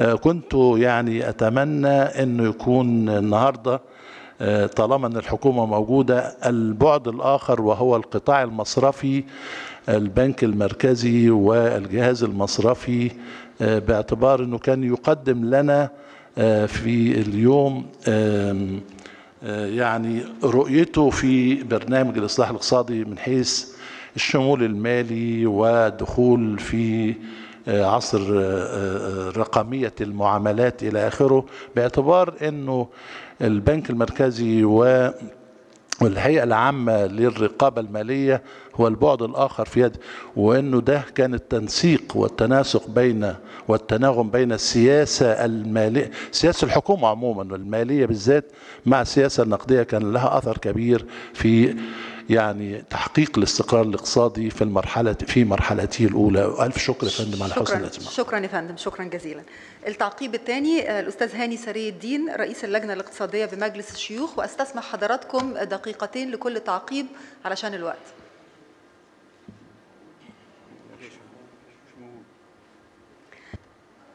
ننتقل لتعقيبات مجتمع الأعمال. آه، تعقيب مهندس محمد السويدي رئيس اتحاد الصناعات. في دقيقتين بعد حد إذن حضرتك. شكرا يا فندم. نشكر الحكومة كثيرا على آه، برنامج الإصلاحات إن ده كل اللي إحنا بنحلم بيه دايما في آه، آه، مجتمع الصناعة بالكامل. يعني أنا يمكن سعيد جدا طبعا بكل الاجراءات وإحنا شاركنا مع حضرتك في كل ال- اللي ما تم اتخاذه واغلبها لكن هحط بس رأيي في بعض الحاجات إنه أهم حاجة طبعا زي ما اتفقنا حضرتك مكانه كل الإجراءات وتبسيطها ده شيء اساسي الحمد لله دولة واعده جدا في جذب الاستثمارات. عايز أضيف حاجة حضرتك قلت عليها التعليم الفني وده اللي بشير له إن شاء الله إن إحنا في تجارب إن التعليم الفني أصبح بيديره القطاع الخاص وبيتكفل به أيضا القطاع الخاص وده دورنا الحقيقي. وإن شاء الله يعني دوله رئيس الوزراء إن إحنا نساعد في إن ندي المدارس الفنية إن شاء الله لإدارتها للقطاع الخاص مع تكفل بكامل تكلفتنا. إحنا اللي بنستفيد في النهاية بإصلاح الدور يعني تنمية المجتمع وجذب استثمارات أكتر إن في عمالة فنية آه، آه، ماهرة. ال- ال- الشأن الآخر اللي هي سهولة الأراضي الصناعية زي ما معالي الوزيرة قالت إحنا برضو بنقدم الفكرة وعايزين نقول عليه إنه آه، عملية حق الانتفاع بالأراضي ده شيء لازم يبقى وارد وموجود أو إعطاء المدة بال مدة تمويل طويلة لجذب مزيد من الاستثمارات إن شاء الله. واستخدام قانون المشروعات الصغيرة ده هيعمل جذب للقطاعات الغير رسمية. لأن القطاع الغير رسمي ده يمكن من أشد ال- التحديات بها إن شاء الله. وتوحيد بقى الجهات الرقابية. تبقى هي بس جهة آه، آه، واحدة أو اتنين يعني نقلل من الجهات. لكن بحيي كل الوزارات على كل الإصلاحات. أنا عارف مش عايز أقول يعني بالاسم لكن هناك تحديات كثيرة وبالذات الإصلاح الميكاني هو شيء من الأساسيات. وإن شاء الله يا رب دايما آه، بالتوفيق. شكرا يا فندم. شكرا جزيلا. التعقيب الثالث المهندس إبراهيم العربي رئيس اتحاد الغرف العربية الغرف التجارية. اتفضل بسم الله الرحمن الرحيم. أنا بشكر دولة الرئيس وبشكر كل السادة الوزراء على ما قدموه. وال- النهاردة والرؤية اللي شفناها لمصر ل 2030 و 2050 إن شاء الله ورؤية واعدة وإن شاء الله مصر تكون في تقدم أكبر وأكثر. بس أنا بركز نقطة أساسية على الاقتصاد الغير رسمي والتجارة الغير رسمية والتجارة المنتشرة ومنتشرة في كل مكان في الريف واصلة وفي كل مكان موجودة. بنتشر يعني بشكر إن في جهود كثيرة موجودة لدمج هذا الاقتصاد ووضعه على الطريق السليم بتاعه وضع الطريق الصحيح بالجهود المبذولة من دولة الرئيس ومن وزارة من وزارة المالية على الأخص التشريع الجديد بنساعد فيها ونوصل بيها إلى ما نتمناه جميعا. نبقى كل المنظومات اللي موجودة في الدولة تحت ال- الرؤية الكاملة والشاملة لينا. شكرا جزيلا. شكرا. التعقيب الرابع دكتور محرم هلال رئيس اتحاد المستثمرين. دولة رئيس الوزراء ما تم إنجازه يا فندم في الإصلاح الاقتصادي اللي فات من المرحلة اللي فات شيء مبهر واعترف به العالم كله. وربنا يوفقكم وإحنا اتحاد المستثمرين يقف ويدعم بكل قوته آه، جهود الحكومة. أنا ليا تعليق بسيط خالص إن الجزء اللي فاضل من رمضان لغاية العيد الإجراءات الاحترازية اللي موجودة في جائحه الكورونا غير كافية ونرجو أن يتم إنها تكون حاسمة أكتر حتى لا تفلت الأمور منا. شكرا دولة الرئيس. شكرا جزيلا. آه، وردت بعض الأسئلة للصحفيين. آه، يعني أنا هنادي اسم الصحفي نسمع السؤال و... ويتم الإجابة عليه. آه، أستاذ أحمد أبو الحسن قناة النيل للأخبار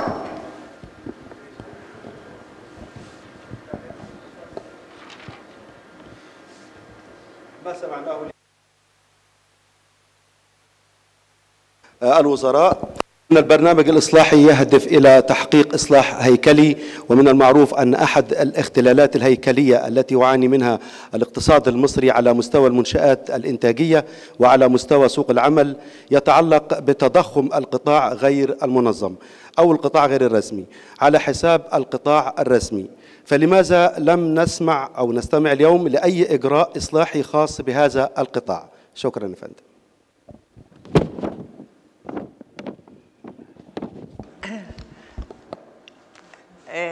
بالنسبة للتساؤل يا فندم إحنا نوهنا آه، فيما يخص القطاع الغير رسمي إن تم إصدار القانون الخاص بالمشروعات الصغيرة والمتوسطة ومتناهية الصغر ونوهت إن تم إصدار اللائحة التنفيذية باعتماد دولة رئيس مجلس الوزراء آه، 5 إبريل هذا الشهر.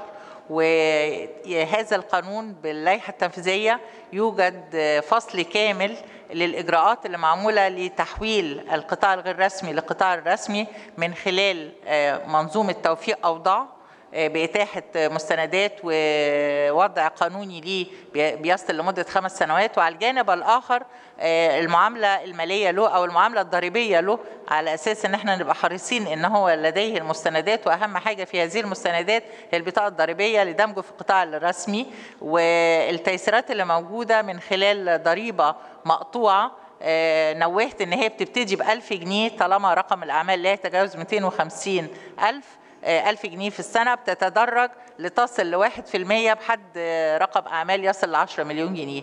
فإحنا في إجراءات وفي كثير من التفاصيل أقدر أتكلمها على هذا المحور لكن إحنا نوهنا في العرض الإصلاحات الهيكلية لجهود الحكومة في تحويل القطاع الغير رسمي للقطاع الرسمي. شكرا.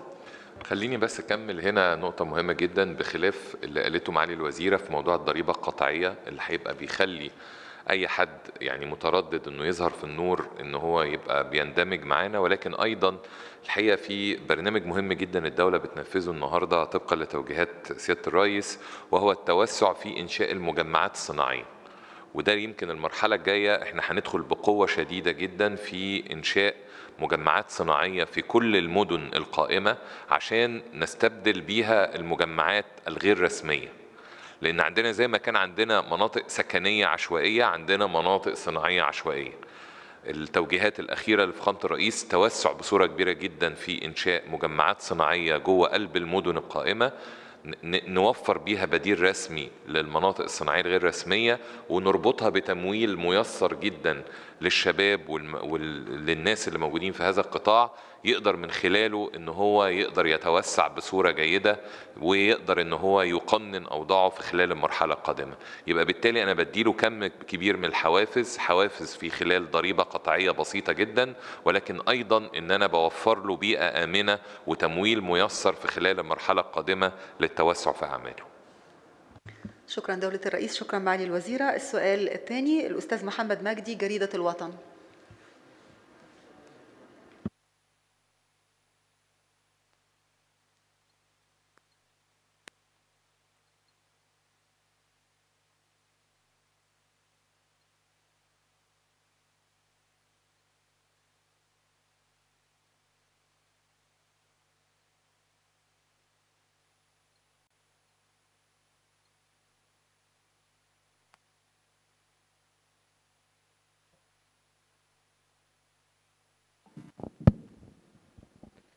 مساء الخير يا فندم. آه، إحنا لمسنا في برنامج الإصلاح الهيكلي آه، جانب مهم اللي هو مختص بالأمن المائي آه، معالي وزير الزراعة كان اتكلم يا فندم كتير بخصوص تطوير الري سواء في الأماكن القديمة أو الجديدة.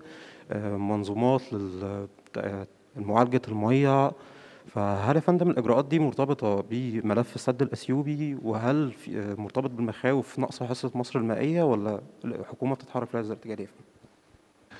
اسمحوا لي يمكن أنا أرد في هذا الموضوع إن إحنا طبعا دولة بتنمو كعدد سكان. إحنا النهارده يعني بنقترب تجاوزنا ال 100 مليون ومع ثبات كمية المية اللي بتيجي لمصر من خلال نهر النيل اللي إحنا بنعتمد عليه أكتر من 90% من مواردنا جاية من نهر النيل.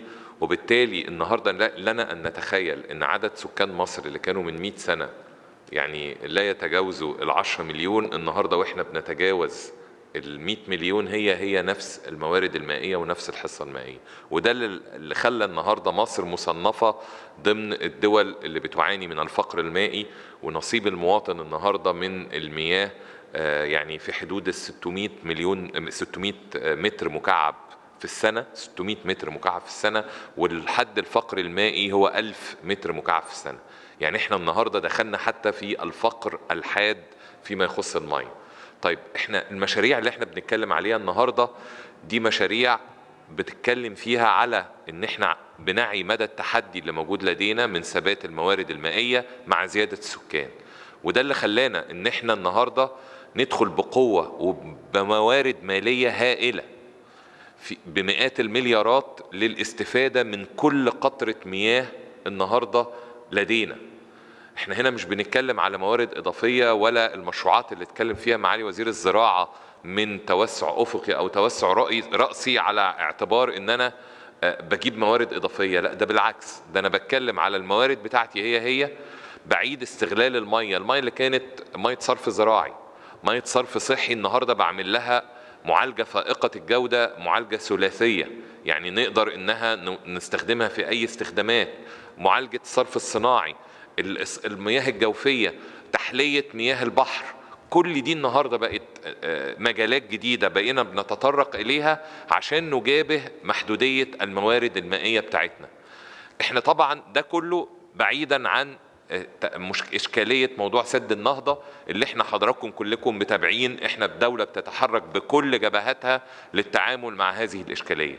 لكن إحنا بن- بنتكلم هنا حتى مع ثبات الموارد المائية بتاعتنا اللي جاية لنا من نهر النيل إحنا علينا تحدي كبير جدا مع الزياده السكانيه إن إحنا لابد أن نستغل كل قطرة مية النهارده كانت موجودة عندنا وإحنا من أعلى الدول على فكرة في استغلال المياه وإعادة تدوير الميه والاستفادة منها. ومع ذلك بنعمل مشروعات بمئات المليارات علشان النهارده أيضا نعيد الاستفادة بنسبة أكبر وأعلى من هذه المية. النهارده مشروعات زي تبطين الترع مشروعات زي الري الحديث مشروعات آه، ك- آه، يعني اللي داخلين فيها في التحلية والمعالجات معالجات الصرف الص- الصحي اللي بنحولها لصرف ثلاثي ال- ال- ال- المعالجة. كل دي علشان فعلا نستفيد بكل قطرة مية موجودة لدينا. شكرا يا فندم. السؤال الثالث أستاذ حسن خزيم جريدة روزا اليوسف مساء الخير يا فندم. شكرا معالي دولة رئيس مجلس الوزراء على إطلاق المرحلة الثانية من البرنامج الوطني للإصلاحات الهيكلية الذي اللي بيأكد طبعا أن الدولة المصرية والحكومة بتشتغل لصالح ال- المواطن. ويمكن حضرتك اليوم يا فندم آه، يعني بعت رسالة طمأنة بالنسبة للمواطنين أن ما فيش أعباء إضافية على المواطنين بخصوص هذا ال- البرنامج. ده تعتبر يعني رسالة طمأنة للمواطن. ولكن يمكن سؤال يا فندم أنا منذ عدة شهور ونحن نتوقع يعني أن الحكومة تقوم بالإعلان عن النسخة المحدثة من استراتيجية مصر للتنمية المستدامة ورؤية مصر 2030 ولكن بدلا من آه، ذلك يعني شهدنا مع حضرتك ال- اليوم الإعلان عن البرنامج الوطني للإصلاحات الهيكلية فهل البرنامج يا فندم ده يعتبر بديل لرؤية مصر 2030 وإن لم يكن كذلك فمتى يتم الإعلان عنها؟ الأمر الآخر يمكن هذه الحكومة يا فندم كانت وما زالت على قدر ال- المسؤولية في التعامل مع كافة ال- الملفات والقضايا الشائكة اللي هي يعني كل الحكومات السابقة يعني ما قدرتش تروح ناحيتها. شكرا يا فندم. شكرا شكرا على السؤال. هو الحقيقة رؤية مصر 2030 هي الاطار الاستراتيجي طويل المدى اللي الدولة المصرية بتتحرك عليه.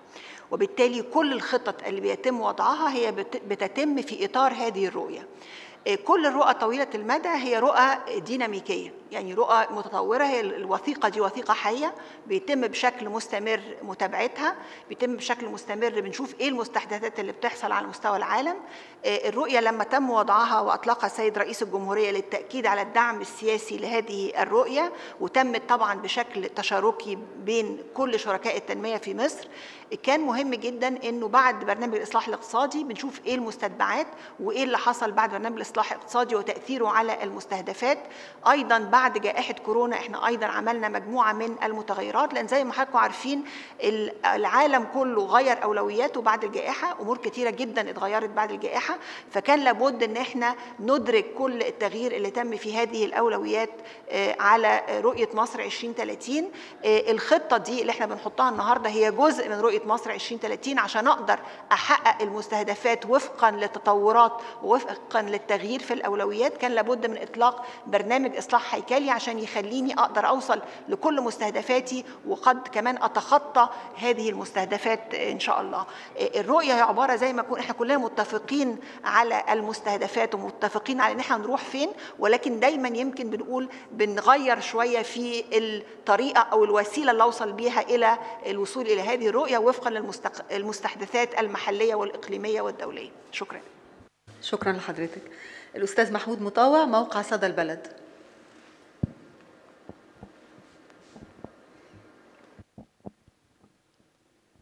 آه، ليسمح لي سيد دولة رئيس الوزراء آه، أتحدث بس بصراحة عن البرنامج الإصلاحي اللي فات سبب عبء كبير على المواطن وده يعني دلوقتي المواطن خايف من أي كلمة إصلاح اقتصادي أو برنامج اقتصادي.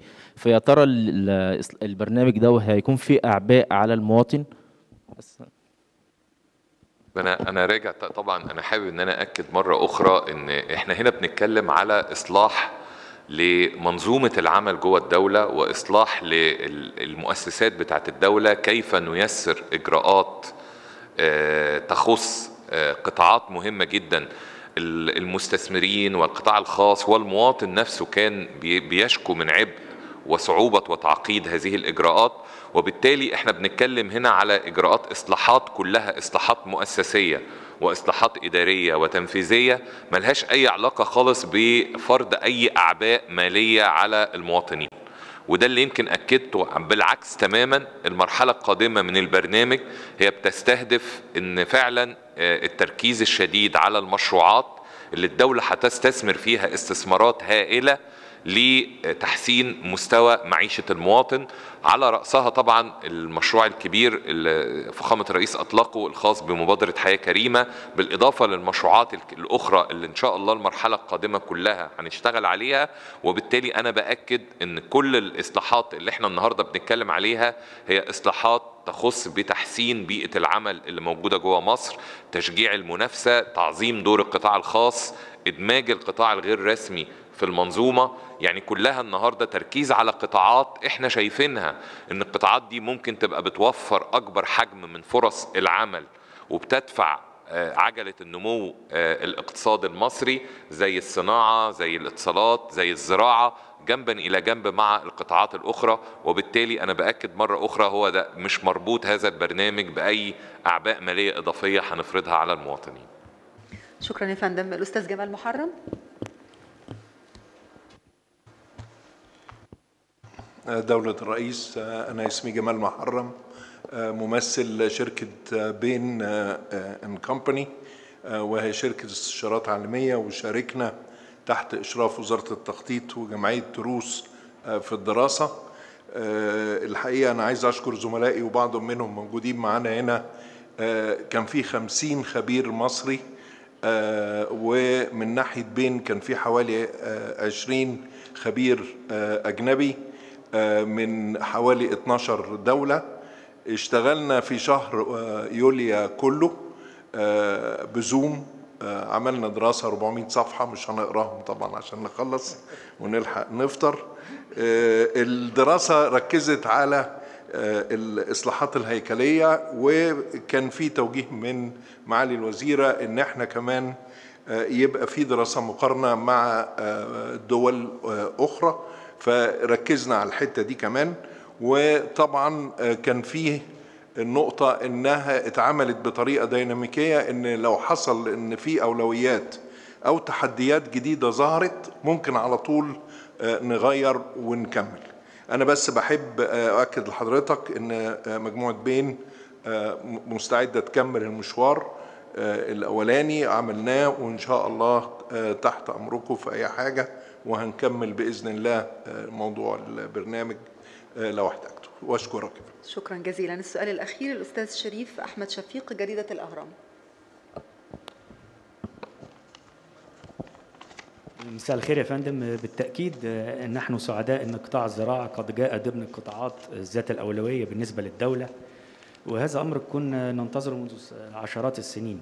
ولكن هناك سؤال يتعلق بالفلاح والمزارع المصري لأنه بالرغم من أن هذا القطاع يستوعب عددا كبيرا من القوى العاملة في مصر إلا أنهم الأقل إيرادا وربحا وأجورا فهل ستعود ثمار الإصلاح عليهم أم لا؟ وأوضاعهم الصعبة لم تتحسن مع أي برنامج إصلاح اقتصادي سابق فهل هذه المرة أيضا سيكون المستفيدون هم أصحاب الشركات والمؤسسات الكبرى؟ شكرا بالنسبة للمزارع والفلاح الصغير إحنا كل يمكن سمعت في الكلمة وزي ما عرضنا ومعالي وزيرة التخطيط عرضت إن البرنامج بيستهدف يعني زيادة أوضاع وتحسين أوضاع المزارع والفلاح الصغير وإدماجه في كل المبادرات اللي عاملاها الدولة سواء في مبادرات مشروع قوم بتلو سواء في مشروع إحنا بنمول الفئات التسليفية للمحاصيل الاستراتيجية لكل الفلاحين والمزارعين بيصل إجمالي التمويل اللي بيمنح لهم في السنة من البنك الزراعي أكثر من 6 إلى 7 مليار جنيه بدعم بفايدة بسيطة 5% ودعم حوالي 7% يعني معناه 600 مليون جنيه. كل المبادرات المرتبطة بالمشروعات المرتبطة بالإنتاج الحيواني وتجميع الألبان والتنمية الزراعية كل الحاجات دي بتستهدف المزارع الصغير. الحاجة التانية إن إحنا دائما بنقدم للمزارع الصغير الهدف من آه، استنباط تقوي جديدة تحسين الإنتاجية كون إن نرفع مستوى إنتاجية معناه إن إحنا بنؤدي إلى تحسين أحواله. آه، في أحيان كتير زي ما شفنا في البرنامج حاليا بيستهدف أيضا تحسين التسويق التعاوني. بهدف إن إحنا نقلل نسبة الفاقد ونقلل حلقات التسويق ونزيد الربحية بتاع فالبرنامج في حد ذاته هو برنامج متكامل بيستهدف صغار الفلاحين والمزارعين وتحسين أحوالهم. شكرا. شكرا جزيلا دولة الرئيس. شكرا السادة الوزراء. آه، طيب اسمحوا لي يمكن في الختام إن أنا أشكر حضراتكم وبنعتذر إذا كنا أطلنا عليكم في يوم من أيام الصيام في شهر رمضان ولكن أنا حابب بس أنهي هذه الجلسة المهمة إن أنا بأكد على إن الدولة المصرية والحقيقة صممت ونفذت آه، المرحلة الأولى من برنامج الإصلاح الاقتصادي آه، وكان برنامج مصري خالص. واتصمم من خلال خبراء مصريين ومن خلال الدولة المصرية وطبعا كان يعني من لا يفوتني إن أنا أوجه الشكر للمؤسسات الدولية اللي ساعدتنا في تنفيذ هذا البرنامج في المرحلة الأولى مؤسسات كبيرة يعني موجودة النهارده معانا في هذا المؤتمر المهم واللي إحنا كمان بن- بنوجه لهم رسالة إن إحنا بنعول على استمرار شراكتكم معانا في خلال تنفيذ المرحلة الثانية من البرنامج اللي هي برضو وضعت من خلال الحكومة المصرية والخبراء المصريين والمجتمع المدني المصري اللي هو برضو مرة أخرى هو برنامج مصري خالص بينبع من قناعة الحكومة المصرية بأهمية الاستمرار في هذا البرنامج عشان حقيقي نضمن استدامة وارتفاع معدلات نمو الاقتصاد المصري. مصر تستاهل إن إحنا نكون نسب النمو بتاعتنا توصل لسبعة وعشرة في المية وبصورة مستمرة لأن ده هو فعلا وضع ومكانة مصر واللي إن شاء الله إحنا شايفين بإذن الله بكل جهود أبنائها في خلال المرحلة القادمة هنكون قادرين على تنفيذ هذا البرنامج الطموح الطموح ونحقق كل آمال الشعب المصري بإذن الله في خلال الفترة القادمة. مرة أخرى كل سنة وحضراتكم طيبين ومتشكرين. جدا على وجودكم معانا وبنعتذر مرة أخرى على الإطالة. وشكرا لحضراتكم. شكرا جزيلا.